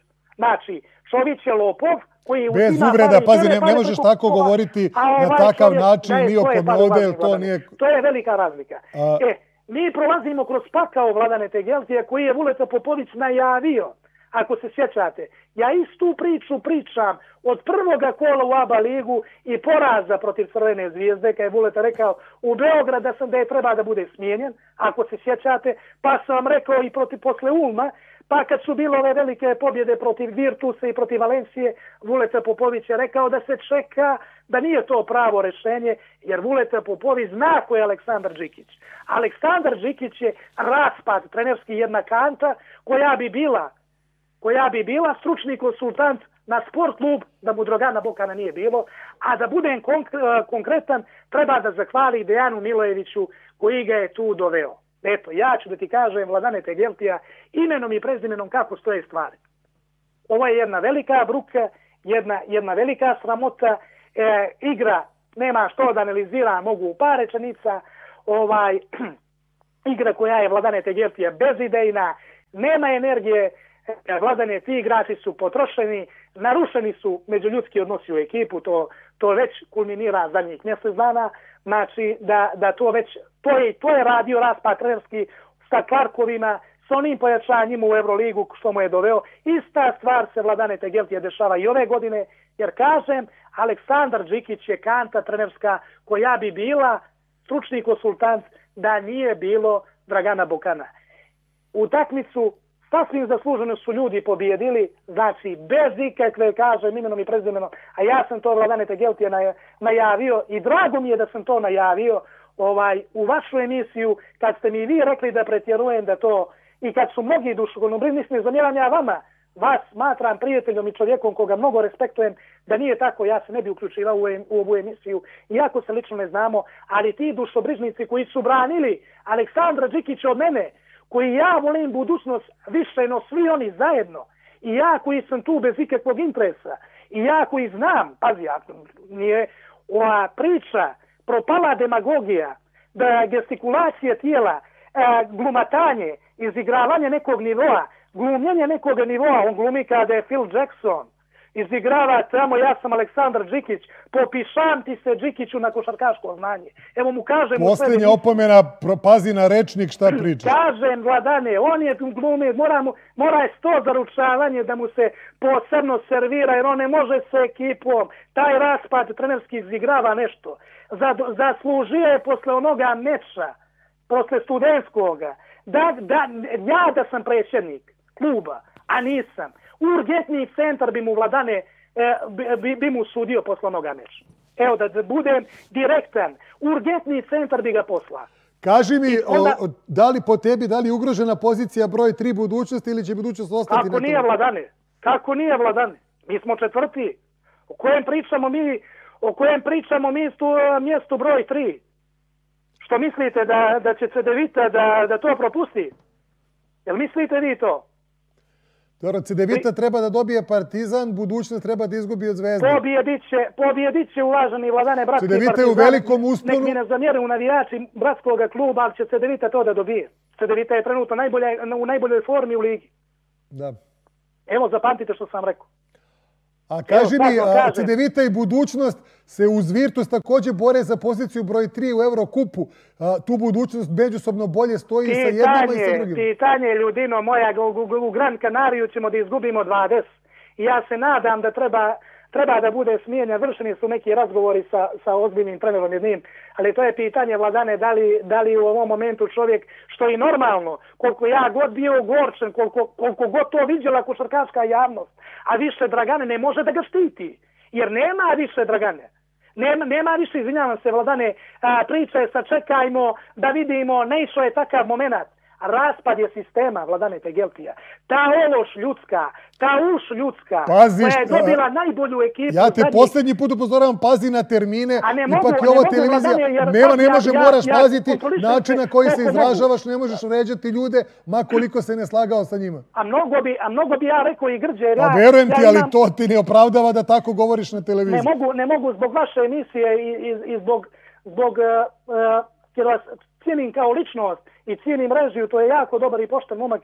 Znači, ne mogu, ne mogu da brukam svoje ime i prezime, ovaj, da, da, a mnogo bi grđe govorio. Mnogo bi grđe govorio. Teško je vladane ovo svakome normalnom čovjeku. Pazi, ja nemam interes. Niti ja, ni drugi ljudi. Ja sam neko ko zna 90% stvari u klubu ti igrači studentskog centra su prošli pored mene, Vladane Tegeltija, svratili su na bazenu u sportski centar, pored mene su prošli. Ja sam razgovara i sa Pavličevićem, i sa Ivšićem, i sa Vujsićem, i sa Megijem, i sa Kamenjašom. Svi ti momci, mene su došli Vladane Tegeltije da se javi. Ja sam u 11.30 na večer dobio iz Urbana večeru zato što je prošla jedan čovjek koji je tu upravni odbor, koji je branio to spadalo trenersko od mene, pa mi je rekao Popoviću u pravu si i on mi je stega ruku kao, kao u prošli četvrtak onaj uh, budući, budući, budući ministar u manjinsku vladu, da ga ne pominjem kad je komentarisao vas i vašu emisiju. Uh, ljudi znaju da pričam istinu. Nisam ja vladane neki mravojec ulice, uh, mene ljudi, vjerujte mi, ja sam i u životu i, i, i dosega neki nivo i živio sam i živjet ću opet vraćen su i nad svim dušmanima na, na, onaj, na onaj stadion gdje sam bio prije dvije godine do, do korone i do svega što mi se izdešavalo, ali taj period za mene nikad jači nisam bio no sad. Vjerujte mi da to pričam i srce i da je to tako. Staću ja na noge, ali cijenim ko mi je pomoga, a nema mnogo ljudi koji mi je pomoglo, tako da nikome više ništa neću pomoći. Moja, moja vrata će biti zatvorena samo za ljude koji su mi pomagali. Jer sam prije toga svakome živome činio. Jer sam takav čovjek u duši bio sam slab na djecu, bio sam slab na nemaštinu, a meni je bio Bog pružio do jedne plate koja je bila par stotina eura, počnem da zarađujem mnogo, mnogo više mjesečno, hiljade da brojim, pa sam davo kapu mi svakom, ali sam dočekao da nemam. Ali evo, Bog je veliki pa me vratio. Ne, svi ti ljudi mene ovdje ne znaju. Ja sam dobio večeru, mene, mene je došao konobar iz Urbana koji se nalazi 500 metara od mjesta gdje sam ja i donosim i kaže ovo je za vas. Mene je bilo sramote da prihvatim, ali i tu mi je pokazan gest kod ljudi, da me ljudi cijene i da ljudi znaju što pričam. A ja, vladane Tegelki, ja nisam prodala demagogiju, nisam lagao, jesam pod emocijom sad ovo što pričam, jer pričam istinu, jer je ona bolna. A bolna je vladane Tegelkija zato što imamo najjaču ekipu u zadnjih 20 godina. Moj presjednik, čovjek za koga bi ja poginuo, jer mi je veliki prijatelj i ja sam njemu veliki prijatelj i možda jedan od najiskrenijih ljudi tu sam mu govorio ne Džikića, ne raspada trenerskog, znao sam što će da bude. Jer Aleksandar Džikić je raspad i to sam rekao javno i stojim iza toga i evo ti rezultati. Hoćete da mi kažete da ekipa nije dobro selektirana? Hoćete da mi kažete da nemamo najbolje playmaker u ligi? Našta li čiji kops vladane Tegeltija? Kops je istrošen, on jedna stoji na noge. On im nije dozirao vladane Tegeltija minutažu kako je treba vladane Tegeltija da napravi. Jer to je raspad trenerski. Njemu su ljudi igrali po 30 minuta. Kad sam ja govorio vama, vi ste se čudili, mi dobijamo Virtus, dobijamo Valenciju, ljudi igraju po 35 minuta. To su živa bić. To su živa bića, to su ljudi. Nisu, nisu roboti. Nisu roboti da, da, ih, da ih pritisneš na taster i da oni igraju kako hoćeš. Provaljen je vladane Tegeltija. Smicovom, e, Smicovom narušen odnos. Naru, ne, ne, u stvari, izleće mi ovo, možda nisam trebao da pomijenim, neću da pominjem igrače s kojim to, to je već sad kulminiralo. Njega buše igrači kažu, ne buše igrači, buje i oni igraju koliko mogu, ali oni druže s ovim raspadom trenerski ne mogu nikad, ne mogu nikud. Počeo je kanalizu ekipe, jer jesu li Peri i Kops najbolji playmaker u ligi. Neka mi kaže neko da je, da je bolji na poziciji jedan od budućnosti. Je li Sili najbolji bek u ligi? Jeste Vladane Tegeltija. Je li Rid najbolji centar u ligi? Jeste. Ali nema ko to da vodi. Imamo Atića za koga je dato obeštećenje. Imamo Vladimira Micova koji je iskusan igrač, koji u rukama ima 15 poena. Imaš Kuriđu koji pokazuje da je jedno od najboljih sedvorki u ligi. Pokazuje da je pošten momak, gine za svaku loptu. On je najvećeg talenta Vladane Tegeltija uz Balšu Živanović, ali ti kažem da je veći talent i od njega. Igora Đigija Drobnjaka, dečka koga ja vidim, jer ja Vladane ne pričam demagogiju i ako se u što razumijem, razumijem su košarku. Da mogu sama da pričam ja o turizmu, da pričam o sa, sađenju malina, sađenju krompira i tim stvarima koje mene ne zanimaju. Ali ja su ove stvari razumijem.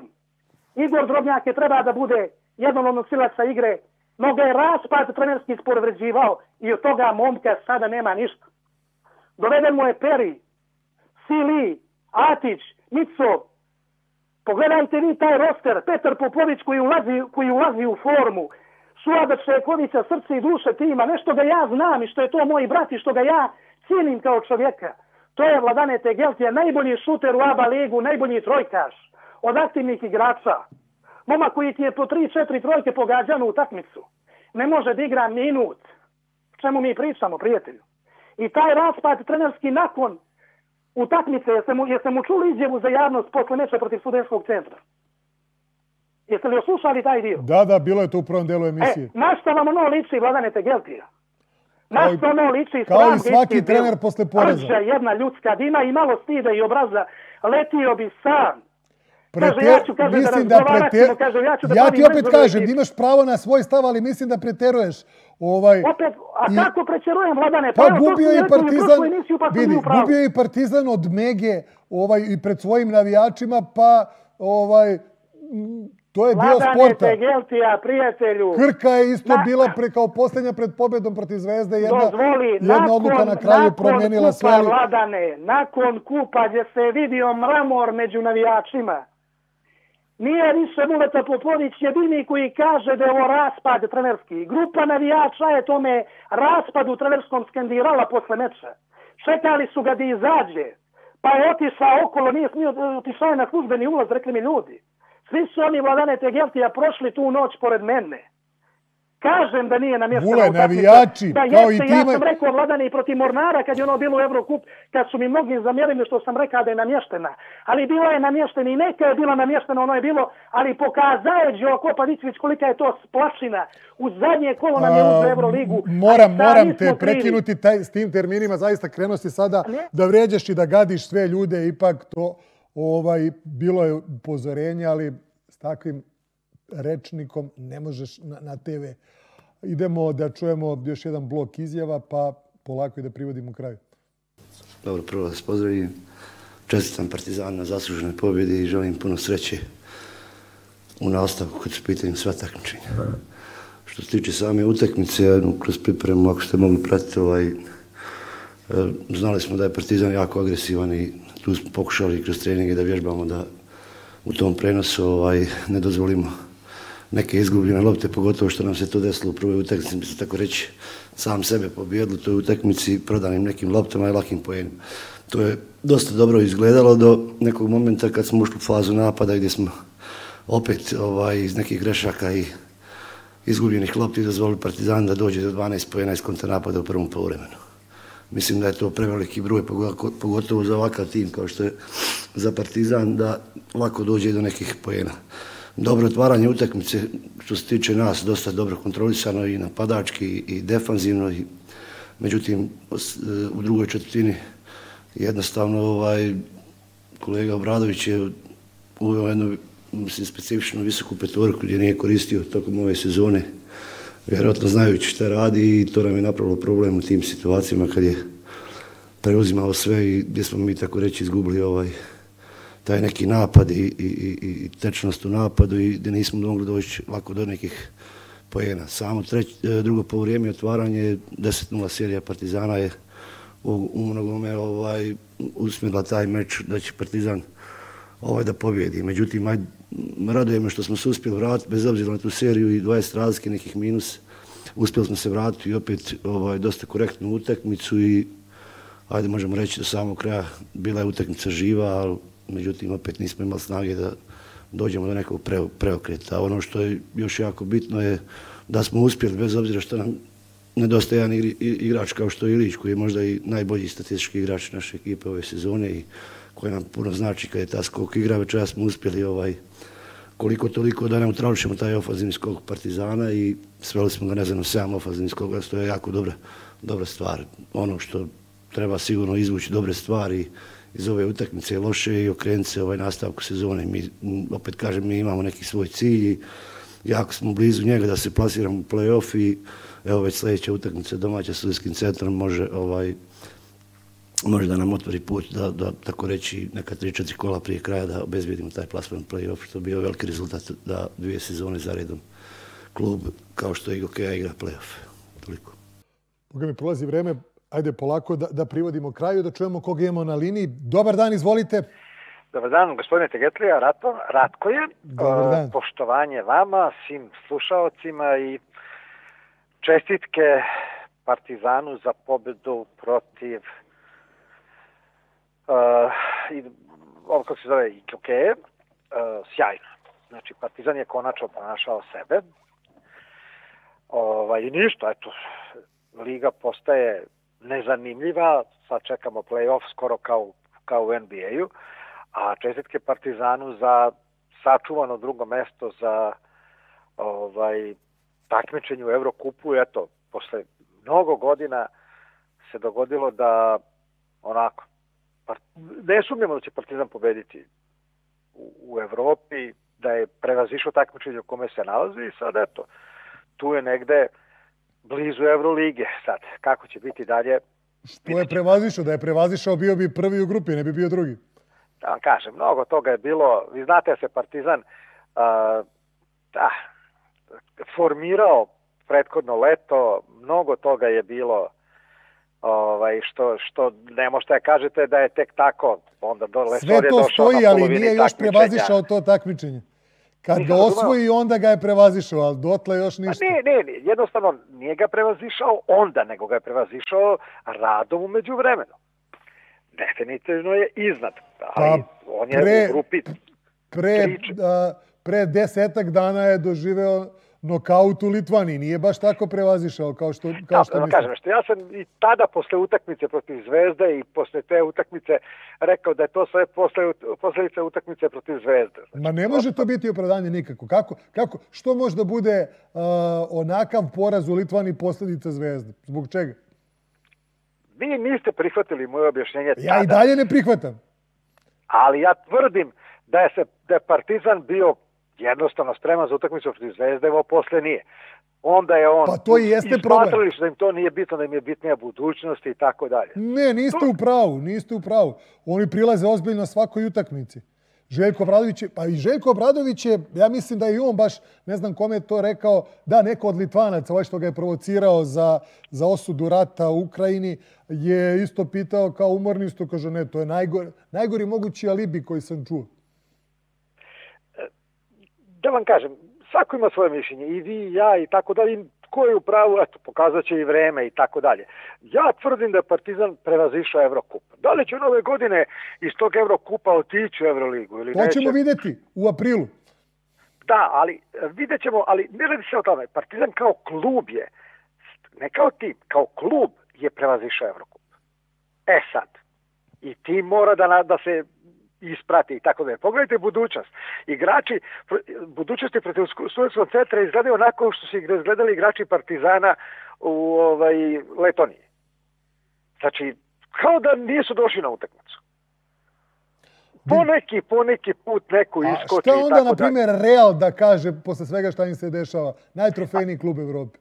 Zato i kažem, ne možemo, da, znači pazite, Real će biti druga ekipa kad bude, i vi ste to rekli, kad bude a, došlo takmičenje kroz play-off, odnosno Ali i Real gubi ubedljivo od, od klubova koji, iznad kojih je u ACB ligi mnogo više ili Endesa ligi. U ovakvom sistemu takmičenja, pogotovo u Euroligi, gde ima toliko utakmica za razliku od nekih prethodnih decenija, ne mogu reći godina, već se igra dugo u tom ritmu, oscilacije su normalne. Ovde mnogi kritikuju, vi ne vidite šta kad se prijavlju ljudi ili kad pišu, čitaju, kako je to uh, borac dobio megu, mornar ubio megu, Zadar dobio megu, sve kao, kao domaćin, a Partizan i budućnost izgubili od mege, još Partizan kao, kao domaćin posle velike pobjede. Ali to je sport i to se dešava, to su normalne stvari. Malo je falilo svojim greškama i Krka je mogla kao posljednji tim da dobije proplasirani tim. Izgubila je 18 razlike za 7 minuta, ali to, se, to je danas potpuno normalna stvar. I kažem, plus to je naravno i jaka je liga. Da vam kažem, ja sećam i kad je Olimpija vodila, ako se ne vram, 21 razlike protiv Partizana na polovremenu, pa je na kraju bilo jedan razlike za Partizan. Kada? Znači, to se događa. Izgubio znači, je Partizan od Olimpije. Nisam vas razumio. Izgubio je Partizan u Beogradu od Olimpije. Pa ne, ali pobedio je, ne, ne, ne pričamo o tome, pričam ne o sadašnjoj Olimpiji, nego o Olimpiji. Aha, dobro. Bilo je 21 razlika na polovremenu i više se ne znam da li sada bile trojke ili ne i znam da je Partizan pobedio 7 razlike. Dešava znači, se i mi smo ono, od Sovjeta to... izgubili 86. u plus 9 za, za 40 sekundi, jer to se dešava Tako je. u Madridu. Ali to, to je sport, to, ne, to je košarka. To toga ne seća, mislim, A tad su igrali takvi igrači koji su takve, posto toga bile takve veličine, poput Divca. Igrao Praja Dalipagić tu utakmicu isto. Dražena Petrovića, tako yes. Stvari, Dražen nije igrao tada, ali dobro. Igrao, Divac igrao je. Divac je dobio po rukama, posto ga je bio ne vrhunski, nego vrhunski vrhunski. Divac imao tada 18 godina, ovaj, stavili su ga da igra ključne trenutke. Eto. Da, ali slažem se. E, ali, hoću kažem, vidi se rad u Partizanu i to je ono što je... To je, nar, to je neosporno. To se vidi šta dolazak Željka Obradovića učini, što kažu, multi-efekat. Ali ne samo to. Znači, mislim da je uprava kluba a, radila jako dobro.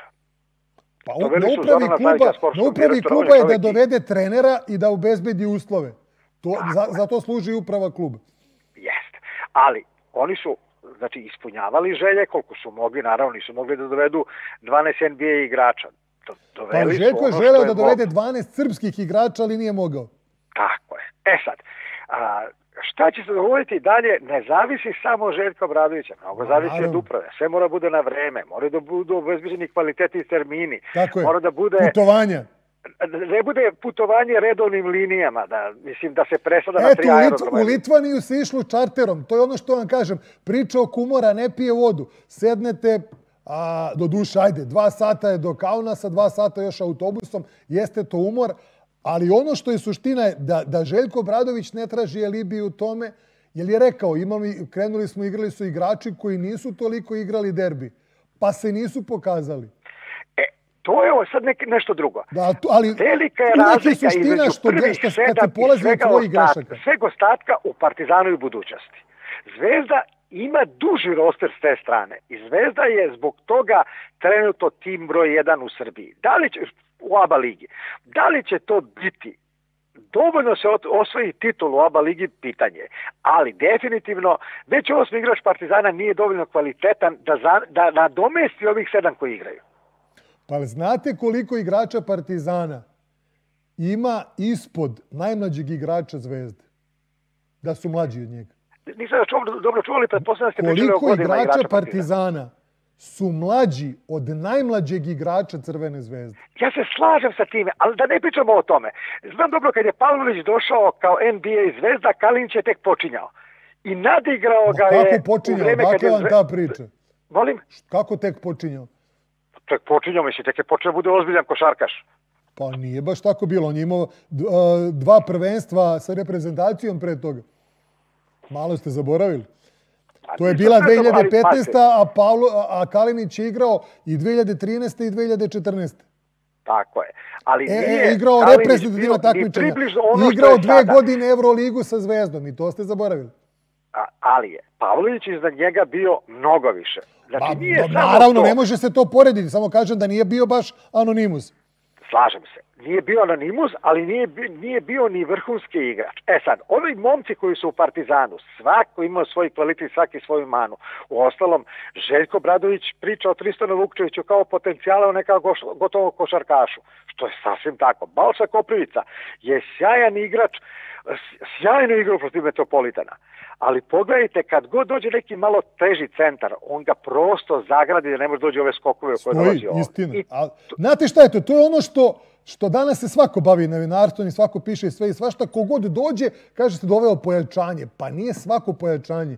Pa nije, ne kažem to je to što vi kažete, da to i kažem. A, a, vi ste to dobro primetili, ali ima ljudi koji misli, ko, u, došao Tristan Vukčević. Pa, Tristan Vukčević je pojavio se super talentovani igrač naš koji uzimaj ga odmah jer će biti perspektiva za budućnost. On, Smajlagić, Koprivica, to je nešto što te pojavi što moraš da uzmeš. Partizan je želeo i ovoga Petruševa, ali, ali čovjek je izabrao s punim pravom Euroligu, izabrao Efes. Da li je sad pogrešio ili nije, to je druga priča. Pojačanje su Panter, Lesor, Ledej, to su pojačanja. To su pojačanja. To, su, to je ono što to su igrači provjereni za koje nema Libije. I šta, to ako neko ste čitali, odnosno Panter je bio gost na litvanskoj televiziji, to je rekao, od mene se očekuje to i to. I to, to, nema tu, nema laži, nema prevare. Zna se šta, šta, je, šta se od njega očekuje, sve, sve drugo je ispod nivoa. Znači, on mora da igra, on mora da uče, ova trojica moraju da vuku. Ali Tako ovi je. ostali su... I oni su i plaćeni za to. Tako i... je. Partizan... Ja sam uvijek podržavao prethodnih sezona, sam kritikovao, a, odnosno kritikovao, iznosio svoj stav. Više sam voleo da se novac, budžet, da određena suma novca, naravno ne ceo budžet, da za tri kvalitetna stranca, ekstremno kvalitetna, nego za šest da ne, neko ne uvredi polovnjaka. Pa da uz tri ekstra igrača stasavaju tri, uh, tri potencijala nevezano da li su srpski ili strani, su potencijali koji će tu duže igrati i koji mogu da se prodaju. A, ja ne kritikujem moje godine, nemam šta, jer možda je moja ideja pogrešna. Kažem, imate trenere koji ne vole to. Trinkier je, na primjer, trener koji želi da ima maltene 14-15 podjednakih igrača. I gde se igra sistem, ritam. Možda je čak i Radonjić sličan tome. Slično, slično se želi a, kako da se igra odbrambeno, tranzicija, trčanje i to je sasvim legitimno. Rezultat je merilo. Ima ljudi koji ne vole da rade sa, uslovno rečeno, plaćenijim igračima ili, ili sa, a, sa zvezdama. Mnogi misle, meni je to smetalo kao, e, njima samo daš loptu pa igraju. Ma daleko je to od toga. Mnogo je teže raditi sa većim igračima, sa suetama, sa zvezdama i uklopiti sve to, nego možda sa, nekom da se ne uvrede nižom klasom. To je moj stav. Vi imate pravo na drugačiji... Treneri, treneri vrhunskih timova gdje su vrhunske zvezde, svi koji igraju. U krajnjem slučaju Željko Bradović je bio a, trener mnogo zvezda u ekipi i on to zna da napravi. E sad gledamo kako Ali će napraviti... Biti, zaboravljate, na primjer, Spanulis je bio nezadovoljan. Je želeo je da bude zvezda, odnosno prva zvezda. A Zamislite, imate spoljnu liniju Spanulis, Jasikevičius, Diamantidis. I tu je još došao Kalates. Igrate nešto novo, vrtite pik, igrate sa tri niska igrača, sa sva, sva tri plevi. Naravno, nije Diamantidis kad je došao u Panathinaikos bio to kad je završio karijeru. Nije ni Spanulis to tada bio, ali su u tom trenutku su bile tri zvezde. I ne možete to uklopiti. Plus Kalates još dođe i Tepić čak. E, Ja to upravo hoću kažem i smatram da je Partizan ove godine a, klubski najviše napredovao. Znači i uprava i tim i tako dalje. Vidjet ćemo šta će se dogoditi kasnije. Verovatno Partizan neće nadigrati zvezdu u tri utakmice pod uslovom da dođe do finala Zvezda Partizan. Ja čak i nisam siguran da budućnost neće skočiti bez obzira da li će Džikić ostati ili ne, ali mislim da bi bilo glupo da ga menjaju jer mislim da tamo treba nešto drugo da se poradi, ali je ok. A šta mislite konkretno? A, pa lično mislim da a, je Podgorica malo mesto, da me ne sad niko pogrešno ne pocenjujem zaista, znači to je, to je tako kako jeste. I da svi ti ljudi bili su dve nedelje, kako rekoše, četiri stranca, koja su živela u Podgorici i nisu radila ništa. Znači, prosto nešto mora se uradi na drugačoj motivaciji igrača. Mislim da oni a, nisu, da su previše prepušteni sami sebi a, da, da se malo radi na, na timskom duhu. Ne, ne izgledaju mi kao tim, pogotovo ne od kako je Peri došao. Znači, oni su pre toga i bili tim, ali posle toga, Bože me sačuvaj. Drugo, definitivno imaju sedam igrača. Sve ostalo što ulazi posle toga, uključujući i Danila Nikolića, koji je fenomenalan igrač. Ali, znate vi gde je to od onoga što treba da bude ovaj, kakav Danilo Nikolić je bio i kakvog ga mi pamtimo. Znači, mislim da će morati mnogo više se radi na timskom duhu i da oni moraju pre svega da budu mnogo jedinstveniji da bi mogli da igraju. Znači, prosto je neverovatno da takva imena kao DJ Sili se ponaša onako in, in, inferiorno, indolentno, ne znam ja kako već to se da, da nabrojim, kao utakmici protiv studentskog centra, to prosto... E sad, da li su to neki njihovi interni podgorički sukobi, e, dve, dve firme ili šta god, ili je to nešto drugo što reče jedan čovjek, neki dogovor. Znači, ja to ne ulazim, ali definitivno je bilo smešno. Znači, prosto nije u redu da onako izgleda budućnost koja je realno, eto, treći, treći klub, u, a pobedili su koga nisu pobedili Evrokupu. Koga očekujete, kakve parave očekujete u polufinalu, odnosno može li neko u baražu da iznenadi? Da li će budućnost sačuvati poziciju broj 3 Da li očekujete polufinale Zvezda, CDVita, Olimpija, Partizan, budućnost ili može li to neko... Evo iskren da budem. A, prosto nisam siguran, ali stvarno to što sad izgovoriti, eto, nisam siguran da budućnost nije želela da Stujetski centar dođe na mesto broj 6. Da pričali smo to i pre vas, isto bila je priča da je budućnost želela da pogura Stujetski centar. Ali pa s druge to, strane, je... studentski centar možda teže stoji u odnosu na Igokeu i FNP da bi mogao tu da uđe. I s druge strane, budućnost vrlo lako možda padne na četvrtu poziciju. Pazite, ja lično mislim da budućnost, to je moje mišljenje, sad, šta ko tko rekao, mislim da je budućnost želela da studentski centar bude šesti da se izbegne FNP. A, ne slušate me, ali budućnost pada na četvrto mjesto. Pa pitanje je, da li pada ako pobede CDV-tu... Ne nema. igraju oni, oni su već završili s njima. Dobro, ako Partizan pobedi CDV-tu, se. Ako Partizan pobedi CDV-tu... A šta ako pobedi Olimpija? Pa, još ima utakmica protiv Zvezde. I onda Zvezda bira protivnika sebi, je li tako? Pa, naravno. Jel misleće... Mislim, e, tu real... je sad onaj problem što po, po meni, Liga je dozvolila cirkus, neke utakmice koje su odlagane morali su da se završe pre posljednja dva kola. A to, to je glupost koja nigde to u svetu To je veliki propust ljudi koji vode ligu. Makabi igraju po završetku svega ostalog. Jeste. I u Euroligi i u ABA ligi se te stvari dešavaju. To je... Pazite, Fenerbahče i Makabi odlučuju direktno ko će, verovatno, po svemu ostalom, ko će ući u top 8, možda i na kom mjestu će biti, igraju zadnje kola kad se sve završi. Dobro, možda bude i Zvezda, Fene, i Zvezda Efes. Pa, da, eto, i Zvezda Efes, pa čak A, i to. Dobro, regular. Čak i to, i to je strašno. Znači, to su sve stvari koje, ne znam, to se zna se, mora da se završi pre zadnje kola ili pre predzadnjeg Dva zadnjeg. čak, da. Pa izvolite, igrajte. E sad, tako je kako je. Zašto pre toga se ne igra na šta, na drugom štapu, možemo pričamo ceo dan, to je bez veze. Ovaj, hoću da kažem, mislim da će svakako biti a, polufinale, ako Zvezda ne bude birala da bude budućnost u polufinalu, to zaista ne mogu da kažem da neće. Jer ne znam šta se događa sa budućnošću. Oni ako otpuste Džikića, možda jeste budućnost. Onda Zvezda mora da slavi u Podgorici, ako, ako hoće budućnost na četvrtom mjestu. Pa zato i kažem, ali ako budućnost bude u raspadu kakvom je sada i zamene Džikića i dođe neki novi trener koji treba da uvede novi sistem, a neće biti. Znači, ne menjaju Džikića da ostanu na sistemu, nešto mora promeni ovaj, pitanje šta će taj trener doneti i da li će budućnost biti dovoljno kvalitetna i pitanje koga...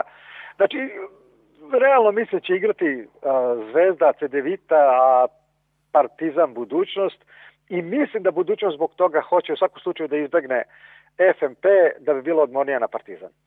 To je moje mišljenje. Al sad... Ali zaboravili ste i Gokeu u tu priču. Pa ne, mislim da Igokea, ove godine Igokea nije... Ne, budućnost može ide na Igokeu. Ko? Partizan? Budućnost. Ne, ne, prva dva ne igraju ovaj taj baraž, nego igraju četvrti... Mislite da budućnost može ići na, na Igo Keo? Da. Pa to bi bilo za njih super. Može i na ja Igokeu. Sada, posle poraza, može da ide i na Igokeu ili na, ili na FMP u baražu. Ja lično mislim što... S tim što, budu, ne zaboravite, budućnost još treba u ligi da ide u železnik. Ali vam kažem, lično mislim da se tu, da tu oni koji odlučuju, a da ja ne moram da imenujem ono što i vi kažete, će odlučiti da FMP ide na budućnost ako može. Ako budućnost to ne izbegne. I eto, tu će se onda vidjeti šta će i kako će biti. Mislim da, da je to realno. A što, iznenađenja su moguće svugde. Mislim, otko znate, možda i Zvezda izgubi još negde, da ne znam gde, ali možda večeras u, u, u Zagrebu, možda. Teško, teško. Mislim, možda... posle onoga u novom mestu gde Krka sama sebe ubila, sve je moguće. Pa dobro, eto, možda je Ali desi se takva ja. utakmica. Desila ja. se Partizanu Mega, desila se Zvezda i Krka, Zvezda se iščupala, Partizan nije. Pazite, desilo se Partizanu a, mnogo bolnije a, CDVita Olimpija. Pa jeste, ali, ali ipak da kažemo, to je iz prva četiri tima, pa desi se i to. Partizan je realno trebao i one Trinkjerijeve godine da izgubi od istog protivnika, pa je Jaramas dao na, na nakav način koš u počinju sekundi. Partizan se tada iščupa, sada nije. Znači, ipak tu, tu se dešavaju takve stvari. Ali da vi izgubite od deset, ne pocenjujem ja Megu, od desetkovane Mege pred svojim navijačima, to je, to je kiks, kažem, koji će možda koštati Partizana titule da kažem, ja slažem sa vama, ali to je, aj, šta ćete vi da kažete? Prvo, uh, teo se kažem nešto vezano za budućnost uh, studentski centar. Bez obzira što je budućnost bila gost, pa nije sramota da, nas, da, da u publici budu samo rodbina i komšije. Mislim, ono je, ono je tuga i sramota da Podgorica ne može da napuni 3000 ljudi na utakmici dva kluba iz Podgorice. To je tuga i sramota, a hoće budu prvaci, hoće igrati Euroligu. Jel zaslužuje taj grad da igra Euroligu? Znači, ovo nije pocenjivanje, ovo je mišljenje. I ne mislim da, da tako nešto sme da se dogodi nekome ko ozbiljno hoće da bude iznad lige u kojoj učestvuje. Pa sad, neka je tako kako je. Smem li ja da budem bezobrazan da napravim jednu jednominutnu političku opasku na sadašnju situaciju u Srbiji? Političku? Nisam vas čuo. Što političku? Da, da. Pa imate utisak nedelje, što kod mene? Aj, lajte. Evo ovako. Samo da podsjetim sve one navijače Partizana, poznam da ovi drugi ne misle tako uglavnom. Da Dvolik Smradić je oživeo mrtvi SPS i Gljivicu Pačića da bi ostao četiri godine na vlasti. Ko, nisam vas razumio. A da je Dukljanin bio čovek koji je tužio klub u kome je postao ime. Uf, nisam vas razumio. A nije što se dogovori za napad. Aj polako ponovite, nisam vas razumio. da je dvolik Smradić oživeo mrtvi SPS i Gljivicu Pačića da bi bio još četiri godine na vlasti. A da je Dukljanin tužio klub od koga je posto, u kome je postao ime i u kome je ostvario sve što je ostvario. Dobro, pa. I da ako oni dođu na vlast u Beogradu, znamo šta nas čeka. Šta? Čeka nas unošenje u lica, u lice protivnicima, odnosno nekima koji treba da sude. Unošenje svega zlog u život, uključujući onoga protiv čega smo se mi borili 5. oktobra. Znači, ljudi, nemojte da glasate za tu opciju. Za koga za... dođete, nemojte za Vučića. Znači, glasajte za koga hoćete. Znači, nemojte za njih boriti. A za koga ste se vi borili 5. A za koga ste se borili 5. oktobra? A, ja se borio protiv Slobodana Miloševića. A za koga?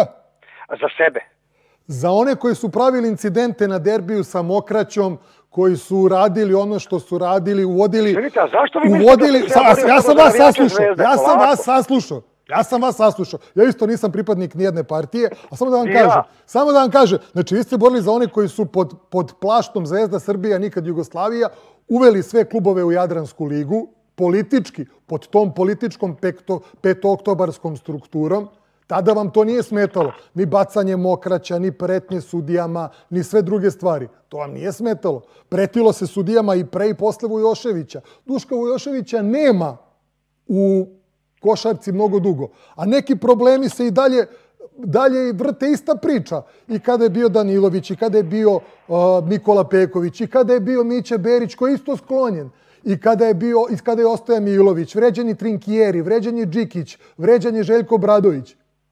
Mislim da bi prvo trebali da se pogledate u ogledalo, pa onda da napadate druge. I za time završimo se, jeste politički zloupotrebili. Idemo na posljednji ja, blok izjava. Uh, odmah želim da čestitam svojim igračima na za nas mnogo bitnoj pobjedi posle svih nedaća i problema koje, koje nas prate. Ovi igrači što su tu večera se strčali, dali su sve od sebe i, i onda nemam što nego da im čestitam. Ovaj, utakmica, znali smo da nas čeka teška utakmica protiv ekipe Mege, da ono što smo planirali, mislim da smo i ostvarili, a to je da osjećamo tranziciju, tranzicijonu igru Mege i da eliminišemo njihov ofanzivni skok.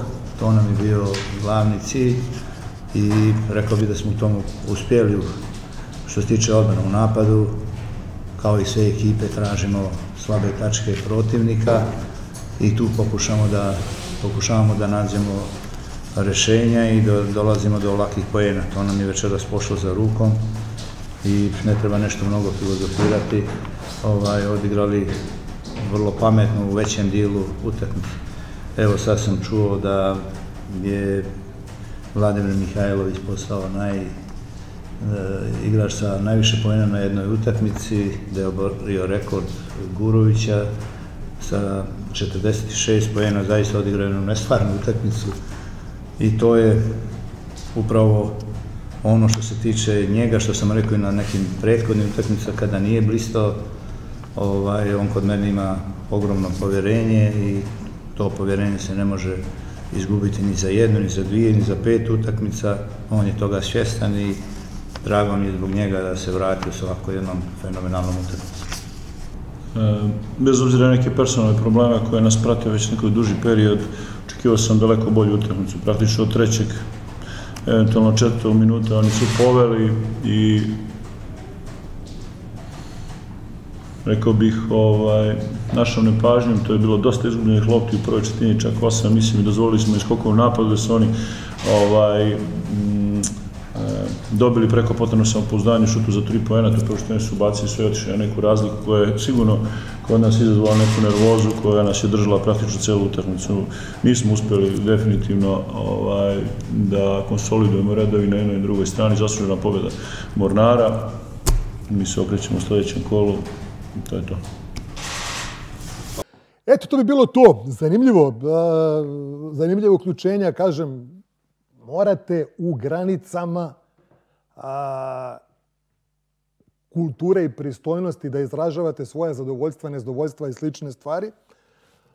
A, politika je umešana u sport. Sport je deo politike i ovde i svuda u svetu, ali ajde bar da ova emisija ne bude predizborni program za bilo koga. A, igra se Eurocup, eh, Partizan gostuje u Poljskoj, budućnost na Kanarima, čeka se i Cedevita Olimpija. Možda će u četvrtak mnogo toga biti poznat, eh, nama poznatije. Vidjet ćemo tada ko će možda na koga, ali kažem, ima još da se igra i tu i u Euroligi, sve se menja. A o svemu tomu ćemo u četvrtak od, opet uključenjima od 12 do 14. Vi ostavljate telefone za kraj. Pogledajte kakve su očekivanja crno-belih pred gostovanju u Poljskoj.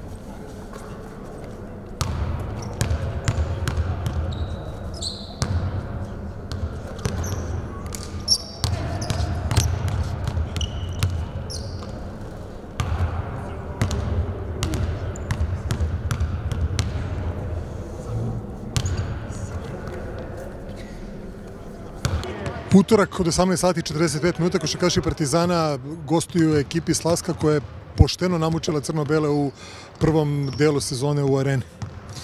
Da, pa upravo ta činjenica iziskuje da maksimalno ozbiljno pristupimo utakmici, da shvatimo da u oba takmiča koje igramo nema slabog protivnika, bez obzira na plasman i stanje na tabeli, treba da igramo ozbiljno. Oni su specifičan tim zbog toga što igraju odbranu na piku na veoma poseban način i to je ono što je najvažnije kao priprema utakmice. Sve ostalo manje više znamo i trebalo bi da igramo 40 minuta u jednom ritmu koji bi nama omogućio da pobedimo tu utakmicu. Šta se na stanju u prvom redu Koprivica i Madar posle onoga juče? Dobro su trenirali su danas sve u redu. Ostali svi spremni? Ostali spremni, da.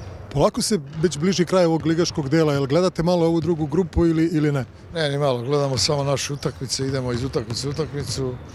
Kad se sve bude završilo, vidjet ćemo ko je eventualni protivnik i onda ćemo početi s pripremom. Uh, delo, mislim, prilično je onako slična situacija u odnosu na vaše gostovanje protiv Lijetke Belisa. Uh, imali ste velike pobede ovde pre, kao tada, mislim, bio je derbi, sada su ovde budućnost uh, Igokea. Jel, mislite, jel ima nekog straha od bili sličnog su, pada?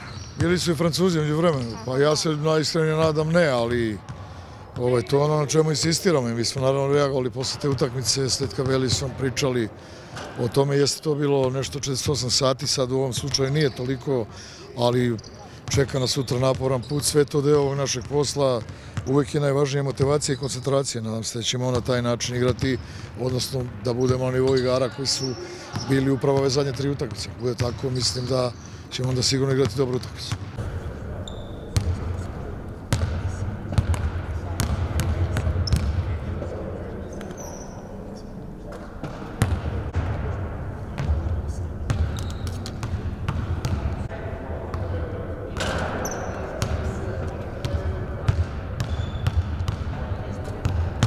We secured uh, the second second place of the group. We still have a chance to be first, and you know we will we will take full advantage of this and try to win as many games as possible and hope for Badalona to to maybe lose a game and give us a chance to be first.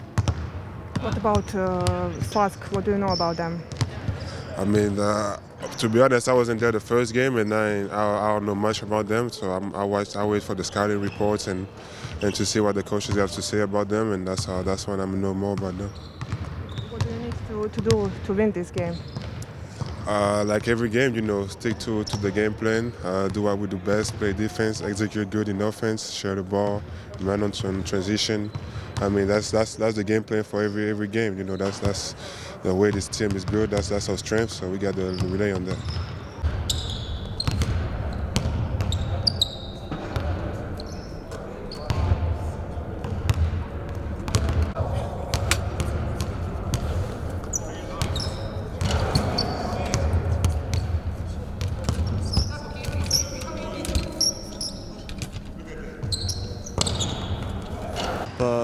Mišljenje ne treba da se opuštamo, imali smo par vezanih utakmica da smo dobro odigrali, ali mi smo mlada ekipa i nadam se da se nećemo opustiti. Nadamo se to na iskustvo našeg trenera da će nas vrati, ako dozvolimo da se opustimo, da nas vrati na mesto. koliko drugačiju možda utakmicu očekuješ od one koja je bila u areni? Pa očekujem da smo mi mnogo bolja ekipa nego što smo bili i da ćemo doći do te neke pobede, gdje nam treba sad, pošto polako dižemo formu, sad još šest, imamo šest utakmica do kraja, do kraja oba dela ABA Ligi i Eurokupa i da, da treba dižemo formu pobedama, da ne dižemo porazima. Jel, jel gledate u drugu grupu, otprilike razmišljate o nekom mogućem protivniku u play-offu ili ste samo fokusirani na sebe? Pa za sada u slučajnici ne pričamo ni o kome, nego isključivo nama fokusiramo se na našu igru, da budemo koncentrisani, da pamtimo akcije, jer ih imamo dosta, uvežbavamo dosta toga za naredni period.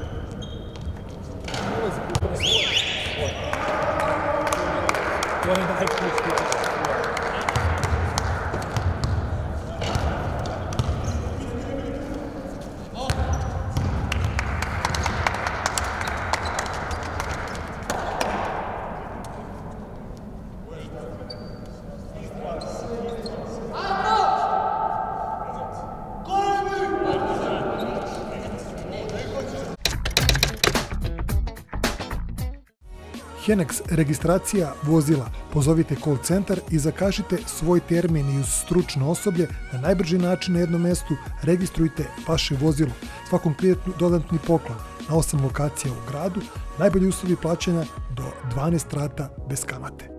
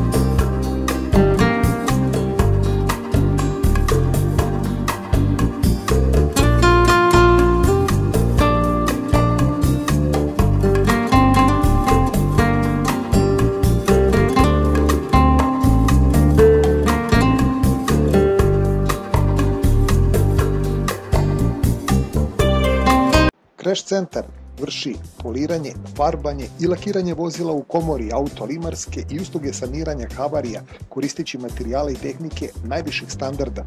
Crash Centar, Patrijarha Pavla broj 20, u naselju Radio Far, u blizini aerodroma Nikola Tesla.